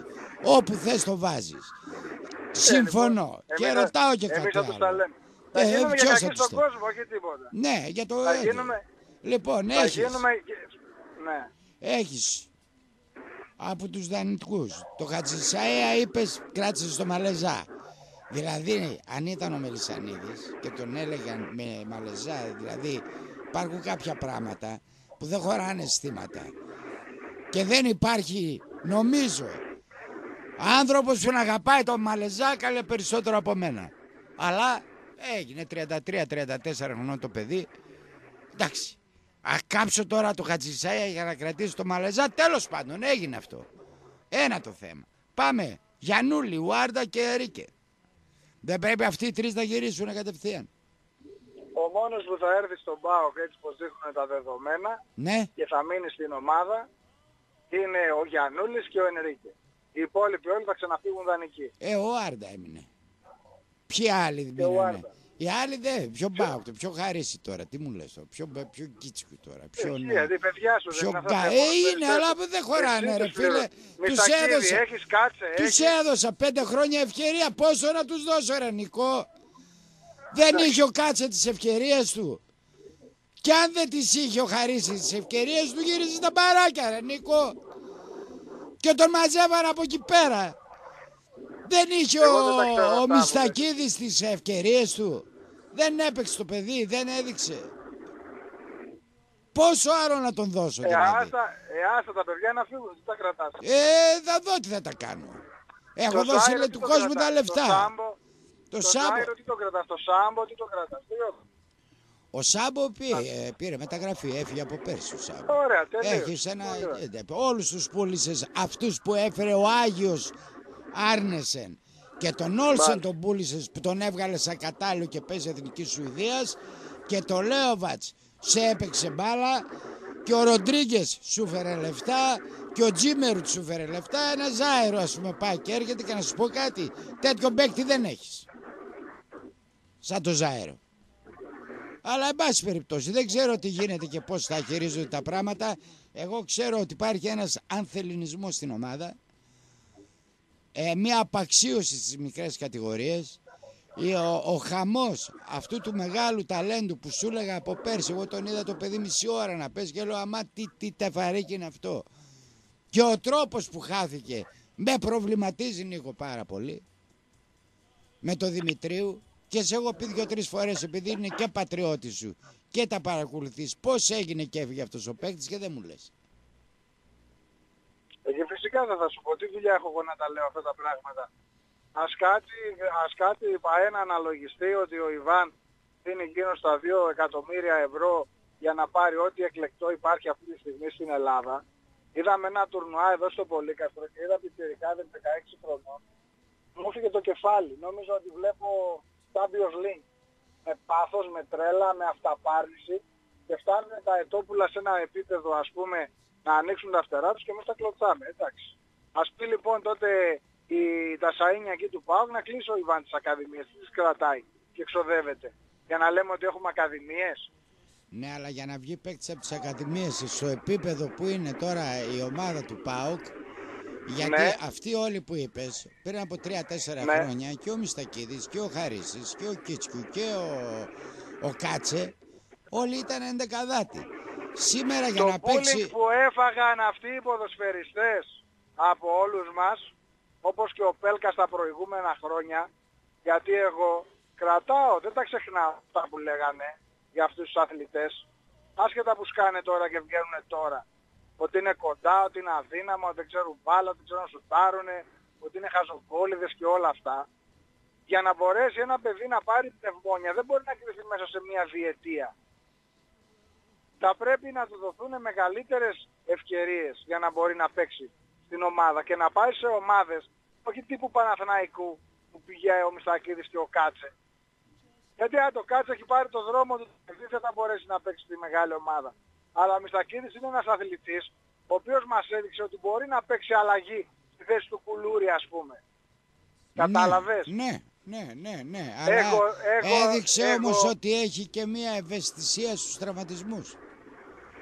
Η ευαισθησία στους τραυματισμούς έχει από τη στιγμή που εκείνη από φράδα μέρα πάτησε σε εκείνη την κολοτρύπα να πούμε και ε, έπαθε τη ζημιά στους χιαστούς. Α, έτσι Μας το έπαθε έδειξε- από τρύπα, το έπαθε. Ε, ο- βέβαια. Μάλιστα. Ε, βέβαια, πάτησε στην τρύπα Ίσως το γι' πόδι αυτό του. το παιδί να χρειάζεται να δοθεί μια ευκαιρία γιατί ακόμα σου γιατί λέω, είναι ρε, πολύ τι μεγάλο κάνω. ταλέντο ο Μιστακίδης. Ε, γιατί σου... Α, δεν το έπαθε δηλαδή στο παιχνίδι. Πάτησε τη στην τρύπα και μάλιστα. Πάτησε μέσα στο παιχνίδι στο πλάγιο στην τρύπα μέσα και έπαθε τη ζημιά. Και από εκεί και πέρα είχε υποτροπές. Προσπαθεί να μπει και θα μπει. Αλλά Μακάρι. το θυμάσαι για το Μιστακίδη. Μακάρι μέσα από την Δεύτερο- ψυχή μου. Μακάρι, εγώ δεν τα αγαπάω νομίζω τα παιδιά, αλλά λέω ότι το επίπεδο τώρα είναι ο Μαουρίτσιος στα χαφ. Ε, είναι τον Ναι. Ελ Καντουρί. Αυτός τι γίνεται, για πες μου, με τον Καντουρί. Θέλει να φύγει. Ο Ελκα- Ο Ελκαντουρί είναι αυτό που λέμε ότι όταν, ένας, ε, όταν είσαι παραδείγματος χάρη σε μια πολυεθνική βουνό Ναι. και ξαφνικά αυτή η πολυεθνική από το Λονδίνο σε στέλνει στα Στην στο Καβάλα. Ιράν, ας πούμε. Στην Καβα... Στα Ναι, Γιάννενα. βγάζεις στην Καβάλα, στα Γιάννα, βγάζεις μια ξυνήλα. Ναι, έβγαλε. Αισθα, ε, αισθάνεσαι ρε παιδί μου ότι είσαι... Υποβαθμισμένος. δεν είσαι, ναι, είσαι υποβαθμισμένος. δεν είσαι για Είσαι, αυτό το ναι. επίπεδο. Με στείλαν στο βρωμοχωριό. Αλλά αντί να σφίξεις τα δόντια όπως κάνουν πολλοί Έτσι. και λένε κάνω ένα, ένα βήμα πίσω για να κάνω 30 μπροστά, Σοφός. αυτός έκανε ένα βήμα πίσω και ξανακάνει ακόμα ένα βήμα πίσω και ξανακάνει ακόμα ένα βήμα πίσω. Κατάλαβες. Και αυτός είναι που είναι προβληματικός με τους υποτρε... ε, που υποτροπιάζει συνέχεια στους τραυματισμούς. Αυτό για το την είχε φυσική πριν έρθει στον κατάσταση. ΠΑΟΚ, Νίκο. Αυτό το είχε με τους Είχε- τραυματισμούς. Είχε ευαισθησία; Κοίταξε, Πάντα έτσι είχε ήταν ευαισθησία δηλαδή; όπως είχε, όχι, είχε ευαισθησία όπως είχε και ο Βιερίνια. Ο Βιερίνια όταν ήρθε από τη Γερμανία είχε ένα πρόβλημα στον Αστράγαλο. Ναι, Έπαιζε τα πρώτα παιχνίδια με φρικτούς πόνους. ναι. Αλλά έσφυγε τα δόντια και προσπαθούσε να παίξει. Και ο Ελκαντουρί όταν ήρθε στην ομάδα στο παιχνίδι με τη Λάρισα, εκεί πάλι σε εκείνο το κολογίπεδο, έβασε μια ζημιά. Πάει ο γήπεδος. Δεν, δεν έκανε σωστά την αποθεραπεία που θα έπρεπε να κάνει. Μπήκε πιο γρήγορα από ό,τι θα έπρεπε, γιατί να σου πω κάτι, και ο αθλητής όλοι δεν έχουν το ίδιο μυοσκελετικό ε, σώμα. Δηλαδή εγώ μπορώ να, αποθε, μπορώ να αποθεραπευτώ σε δύο μήνες, εσύ Σωστά. μπορείς σε ένα μήνα. Ε, όχι σε ένα, αλλά Κατάλαβες; εντάξει, σε 45 μέρες. Ε, βέβαια, Ναι, κοιτάξτε ναι, να δεις. ναι, Ε, ναι. είναι, είναι, είναι πόσο αθλητής είσαι, πόσο είναι η καθημερινότητά σου, πόσο επαγγελματίας είσαι, αν βάζεις εύκολα κιλά. Ο Καντουρί κατευθείαν έβγαλε, πέ- έβαλε 5 κιλά με τον τραυματισμό του. Κατάλαβες; Είναι θέματα αυτά τα οποία εντάξει. το Πάντως σε μπορεί να μένα ξέρει, είπε οι να- πληροφορίες μου, μου από την Ιταλία μου λένε ότι είναι παικτούρα ρε φίλε. Ο Καντουρί είναι μια παιχτούρα από τις λίγες που ο Ρουμάνος θα εξαντλήσει όλα τα περιθώρια του αρκεί όμως και αυτός να, α, πώς να το πω ρε παιδί, να συνθηκολογήσει ότι για να πάει σε κάποιο ΝΑΤΟ πρέπει να ανεβάσει τις μετοχές του και να πάει εκεί ένας υπεύθυνος του ΠΑΟ και να τον δείξει τον Λούκας. Να του βάλει τα παιχνίδια του Λούκας που έκανε τα πρώτα στο ΠΑΟ όταν ήρθε στα δεύτερα, που μετά πήγε Ισπανία και μετά πήγε Άρσεναλ. Και να του πει, αν θέλεις εσύ αγόρι μου να ξαναγίνεις ο Καντορί που ήσουνα, θα πρέπει να ακολουθείς και το πατημένη του Λούκας. Έτσι πρέπει να πάρεις μπροστά, αλλιώς όχι στη Β, όχι στη- στο Super League Ελλάδος θα είσαι, αλλά θα να πούμε και στο Αζερμπαϊτζάν να παίξεις σε λίγο με, τις, με την ιστορία αυτή. Την οτροπία που έχεις. Την ξύνη. Είναι μεγάλο κεφάλαιο ο Ελκαντουρί για τον Πάουκ, να ξέρεις.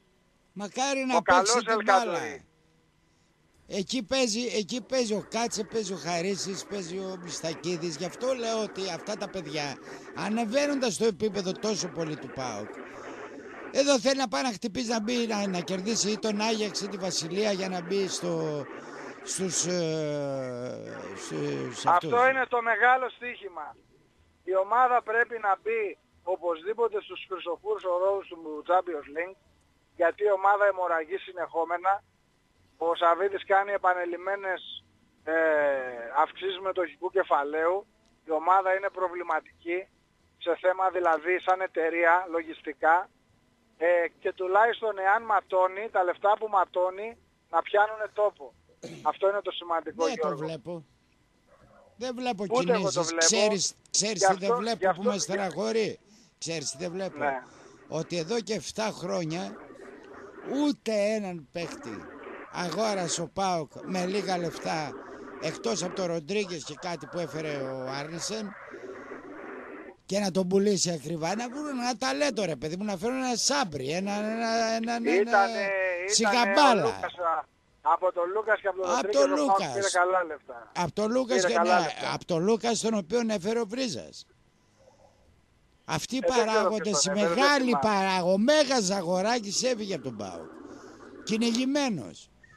Που έκανε μεταγραφάρες. Η ομάδα εκείνη που έκανε ο Φουκαράς ο Ζαγοράκης. Με τον Μουσλίμοβιτς, με τον Βιερίνια, με τον Νίβιτς, με τον Παυλάρα, τον Κοντρέρας και τον ε, Γκαρσία, με τον Χαλκιά. Με, με, με, με μια ομάδα που πετούσε και χτύπησε πρωτάθλημα. Άμα είχε ένα Σαββίδι δίπλα και την ενίσχυε εκείνη την ομάδα με τον Σάντος, μπορούσε την επόμενη χρονιά να διεκδικήσει πράγματα. Και εμείς πέσαμε πάνω στο Ζαγοράκι, όχι εκείνο το έχεις γραμμένο έτσι, όχι εκείνο. Ε, που- άσε τώρα εντάξει, άστα Και και να μην τα λεπτομέρειες. καλείς τα παλιά. Έρχεται ο Τώρα Βρίζας, έχουμε- κάνει μια ομάδα τέτοια ώστε να μπορεί να ανταπεξέλθει και όχι μόνο να μην μπαίνει μέσα, αλλά να πληρώνει και τα παλιά τα χρέη. Και εγχωρώ με τη βέρα του βρίζανε τη μάνα. Και ακόμα τρέχει το παιδί. Αύρες τέτοιους παράγοντες τώρα. Κάτσε με το Μίχελ τώρα. Ούτε ένα παίκτη δεν έφερες. Ούτε έναν παίκτη. Να φέρεις ένα Σιγκαμπάλα, να φέρεις ένα Μαγντή Ντολμπά. Να το φέρεις για με, με 100.000 για να σε παίξει για 2 εκατομμύρια. Ούτε έναν. Γυρασμένα Κοίταξε. παλικάρια κουρασμένα. Αυτά είναι που φέρχονται στον Πάο. Κοίταξε, κοίταξε, κοίταξε να δεις. Όταν... ε, Χάνεσαι. Χάθηκες. Πού είσαι στον Άσπρο; Εκεί υπάρχει ένα μαγνητικό πεδίο που... Πάμε στο διάλειμμα. Εδώ είμαστε, επιστρέψαμε. Χαιρετίσματα στο Λιτόχωρο και στην Πλάκα. Χαιρετίσματα στην Πέραμο και στους Αμολόφους. Χαιρετίσματα στο πρώτο και στο δεύτερο ποδάρι της Χαλκιδικής. Όλη η Θεσσαλονίκη βρίσκεται στις παραλίες, όλη η Ελλάδα αλιάζεται σε αυτό τον ευλογημένο τόπο, σε αυτό το πανέμορφο μέρος που είναι η κατοικία των Θεών. Υπάρχουν προβλήματα. Υπάρχουν οικονομικά προβλήματα κυρίες και κύριοι. Αλλά ας πούμε ότι σήμερα τα ξεχνάμε. Σήμερα είναι Κυριακή, η μέρα που ξεκουράζει το λαός και με λίγα λεφτά, γιατί λίγα λεφτά χρειάζονται να πας στις παραλίες, μπορείς να πας και να απολαύσεις το ονειρεμένο, το πανέμορφο καλοκαίρι των Ελλήνων. Ευλογημένη χώρα, ευλογημένος τόπος και ευλογία σε όλους εσάς που μένετε σε αυτό το υπέροχο κομμάτι, σε αυτή τη φλούδα γης που μας απέμεινε γιατί κάποτε είχαμε πολύ μεγαλύτερο χώρο να κινηθούμε. Όλα τα παράλια της Μεσογείου ήταν διάσπαρτες ελληνικές πόλεις. Τώρα μας έμεινε η Μητρόπολη. Αυτό το κομμάτι το ευλογημένο που είναι για μας σκοπός να το διατηρήσουμε γίνονται πράγματα απίστευτα στη χώρα μας τα τελευταία χρόνια, τα τελευταίες δεκαετίες κυβερνηθήκαμε από μετριότητες που μας φέρανε στη δίνικη οικονομική κατάσταση και τώρα βρισκόμαστε στα πρόθυρα να διαπραγματευτούμε ακόμα και την ονομασία της Μακεδονίας μας. Τον Αλέξανδρο, τον Φίλιππο, τον Ιφαιστίωνα, τον Πτολεμαίο και τα άλλα παιδιά. Δεν θα πούμε εύκολα το, το ναι, θα πάρουμε και μια γραμμή ακόμα και σιγά σιγά πηγαίνουμε προς το τέλος. Παρακαλώ κύριε μου. Μην το μεγαλύτερη καθόλου κύριε μου. Καλησπέρα σας. Καλώς το να. Ε, εγώ είμαι ελεύθερος. Δεν με παίρνει καμιά μεταγραφή ο Σαββίδης. Τι ελεύθερος είσαι ρε, ανήπαντρος; Και, και ωραίος μάλιστα. Α, Ναι. Διαθέτω και παρά. α έχεις και λεφτά. Τι πάθαμε. Τι μάθαμε ρε Γιώργο. Είσαι, είσαι ο μάγος της Καλάστρας; Όχι, Μοσχοβίτης σήμερα Γιώργο. Α, έλα ρε φίλε Μοσκοβίτη, τι γίνεται ρε αδερφέ; Ε, είπα να, να έτσι μια και που χλίζει κάτι να το πάρω, να το φτιάξω στη διάθεση. Λέω Κυριακή είναι, λέω. Ναι, Να έχει ένα ωραίο απογευματάκι με φίλος μας ο Γιώργος που είναι εκπληκτικός. ευχαριστώ πάρα πολύ. Το λέω και δεν το λέω για επένους, το πιστεύω ακράδαντα. Το λέω από την ψυχή μου Γιώργο, να το ξέρεις. Να σε καλά ρε φίλε Έτσι. Μοσκοβίτη. Σε Εγώ ευχαριστώ είπα ο πολύ. κάρα μας Γιώργο μου δεν χρειάζεται τίποτα. Θα τη βρει την άκρη και να είναι βέβαιοι όλοι το κύπελο, το UEFA θα έρθει στον πύργο το λευκό και δεν είναι μακριά. Το Ας το υποσχέθηκε. βάλουν καλά στο μυαλό τους όλοι. Το υποσχέθηκε ο Ιβάν τότε στο... και τον πήρανε ότι είναι σουρωμένος όταν είπε ότι Ναι. θα σας φέρω ευρωπαϊκό τρόπαιο. Γιώργο, το είπα πολλές φορές, θα το πω και στην εκπομπή τη δική σου. Τους φίλους ακροατές, όταν μάθουν τι εστί κουλτούρα πρώτης γενιάς ποντίων, θα καταλάβουν τι εστί Ιβάν Σαββίδης. Δεν ξέρουν την οτροπία αυτών των ανθρώπων, οι οποίοι είχαν μια βαθιά φιλοσοφία και ήταν φοβερά δυναμικοί φο- και έντιμοι όσο εκεί που δεν πάει. Αυτός έχει αυτό το πράγμα. Είναι μεγαλωμένος με αυτή την κουλτούρα γιατί το γνωρίζω πράγματα και, και καταστάσεις. Αυτό να τους το ξαναπώ ότι αν δεν μάθετε τι σημαίνει πόντιος πρώτης γενιάς, τι κουλτούρα κουβαλάνα- κουβαλούσαν αυτοί οι άνθρωποι, μην το ψάχνετε. Κοντά είναι, κοντός ψαλμός λέει αλληλούια. Λοιπόν, και Γιώργακη μου να σε ευχηθώ τα καλύτερα, θα τα ξαναπούμε σύντομα. Να σε καλά, ευχαριστώ πολύ για τα καλά σου λόγια. Γεια σου ρε Γιώργα. ρε, γεια Πάμε σου. να ακούσουμε το τραγουδάκι. Κυρίες, δυσποινίδες και κύριοι, εδώ φτάσαμε στο τέλος της τρίωρες εκπομπής μας.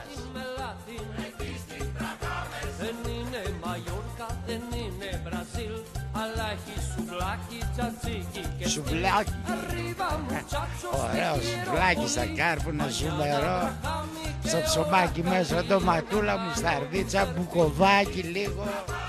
Λίγο κρεμμυδάκι και πάρε ρετάκης. Μην βάζετε πατάτες και τέτοια μέσα. Χαλάει τη γεύση.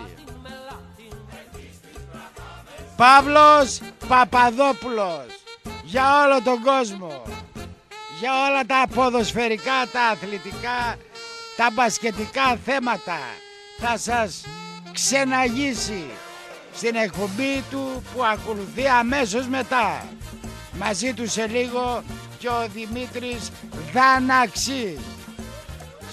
Υπάρχουν από όλο τον κόσμο θερμά συγχαρητήρια στο μπασκετικό ΠΑΟΚ.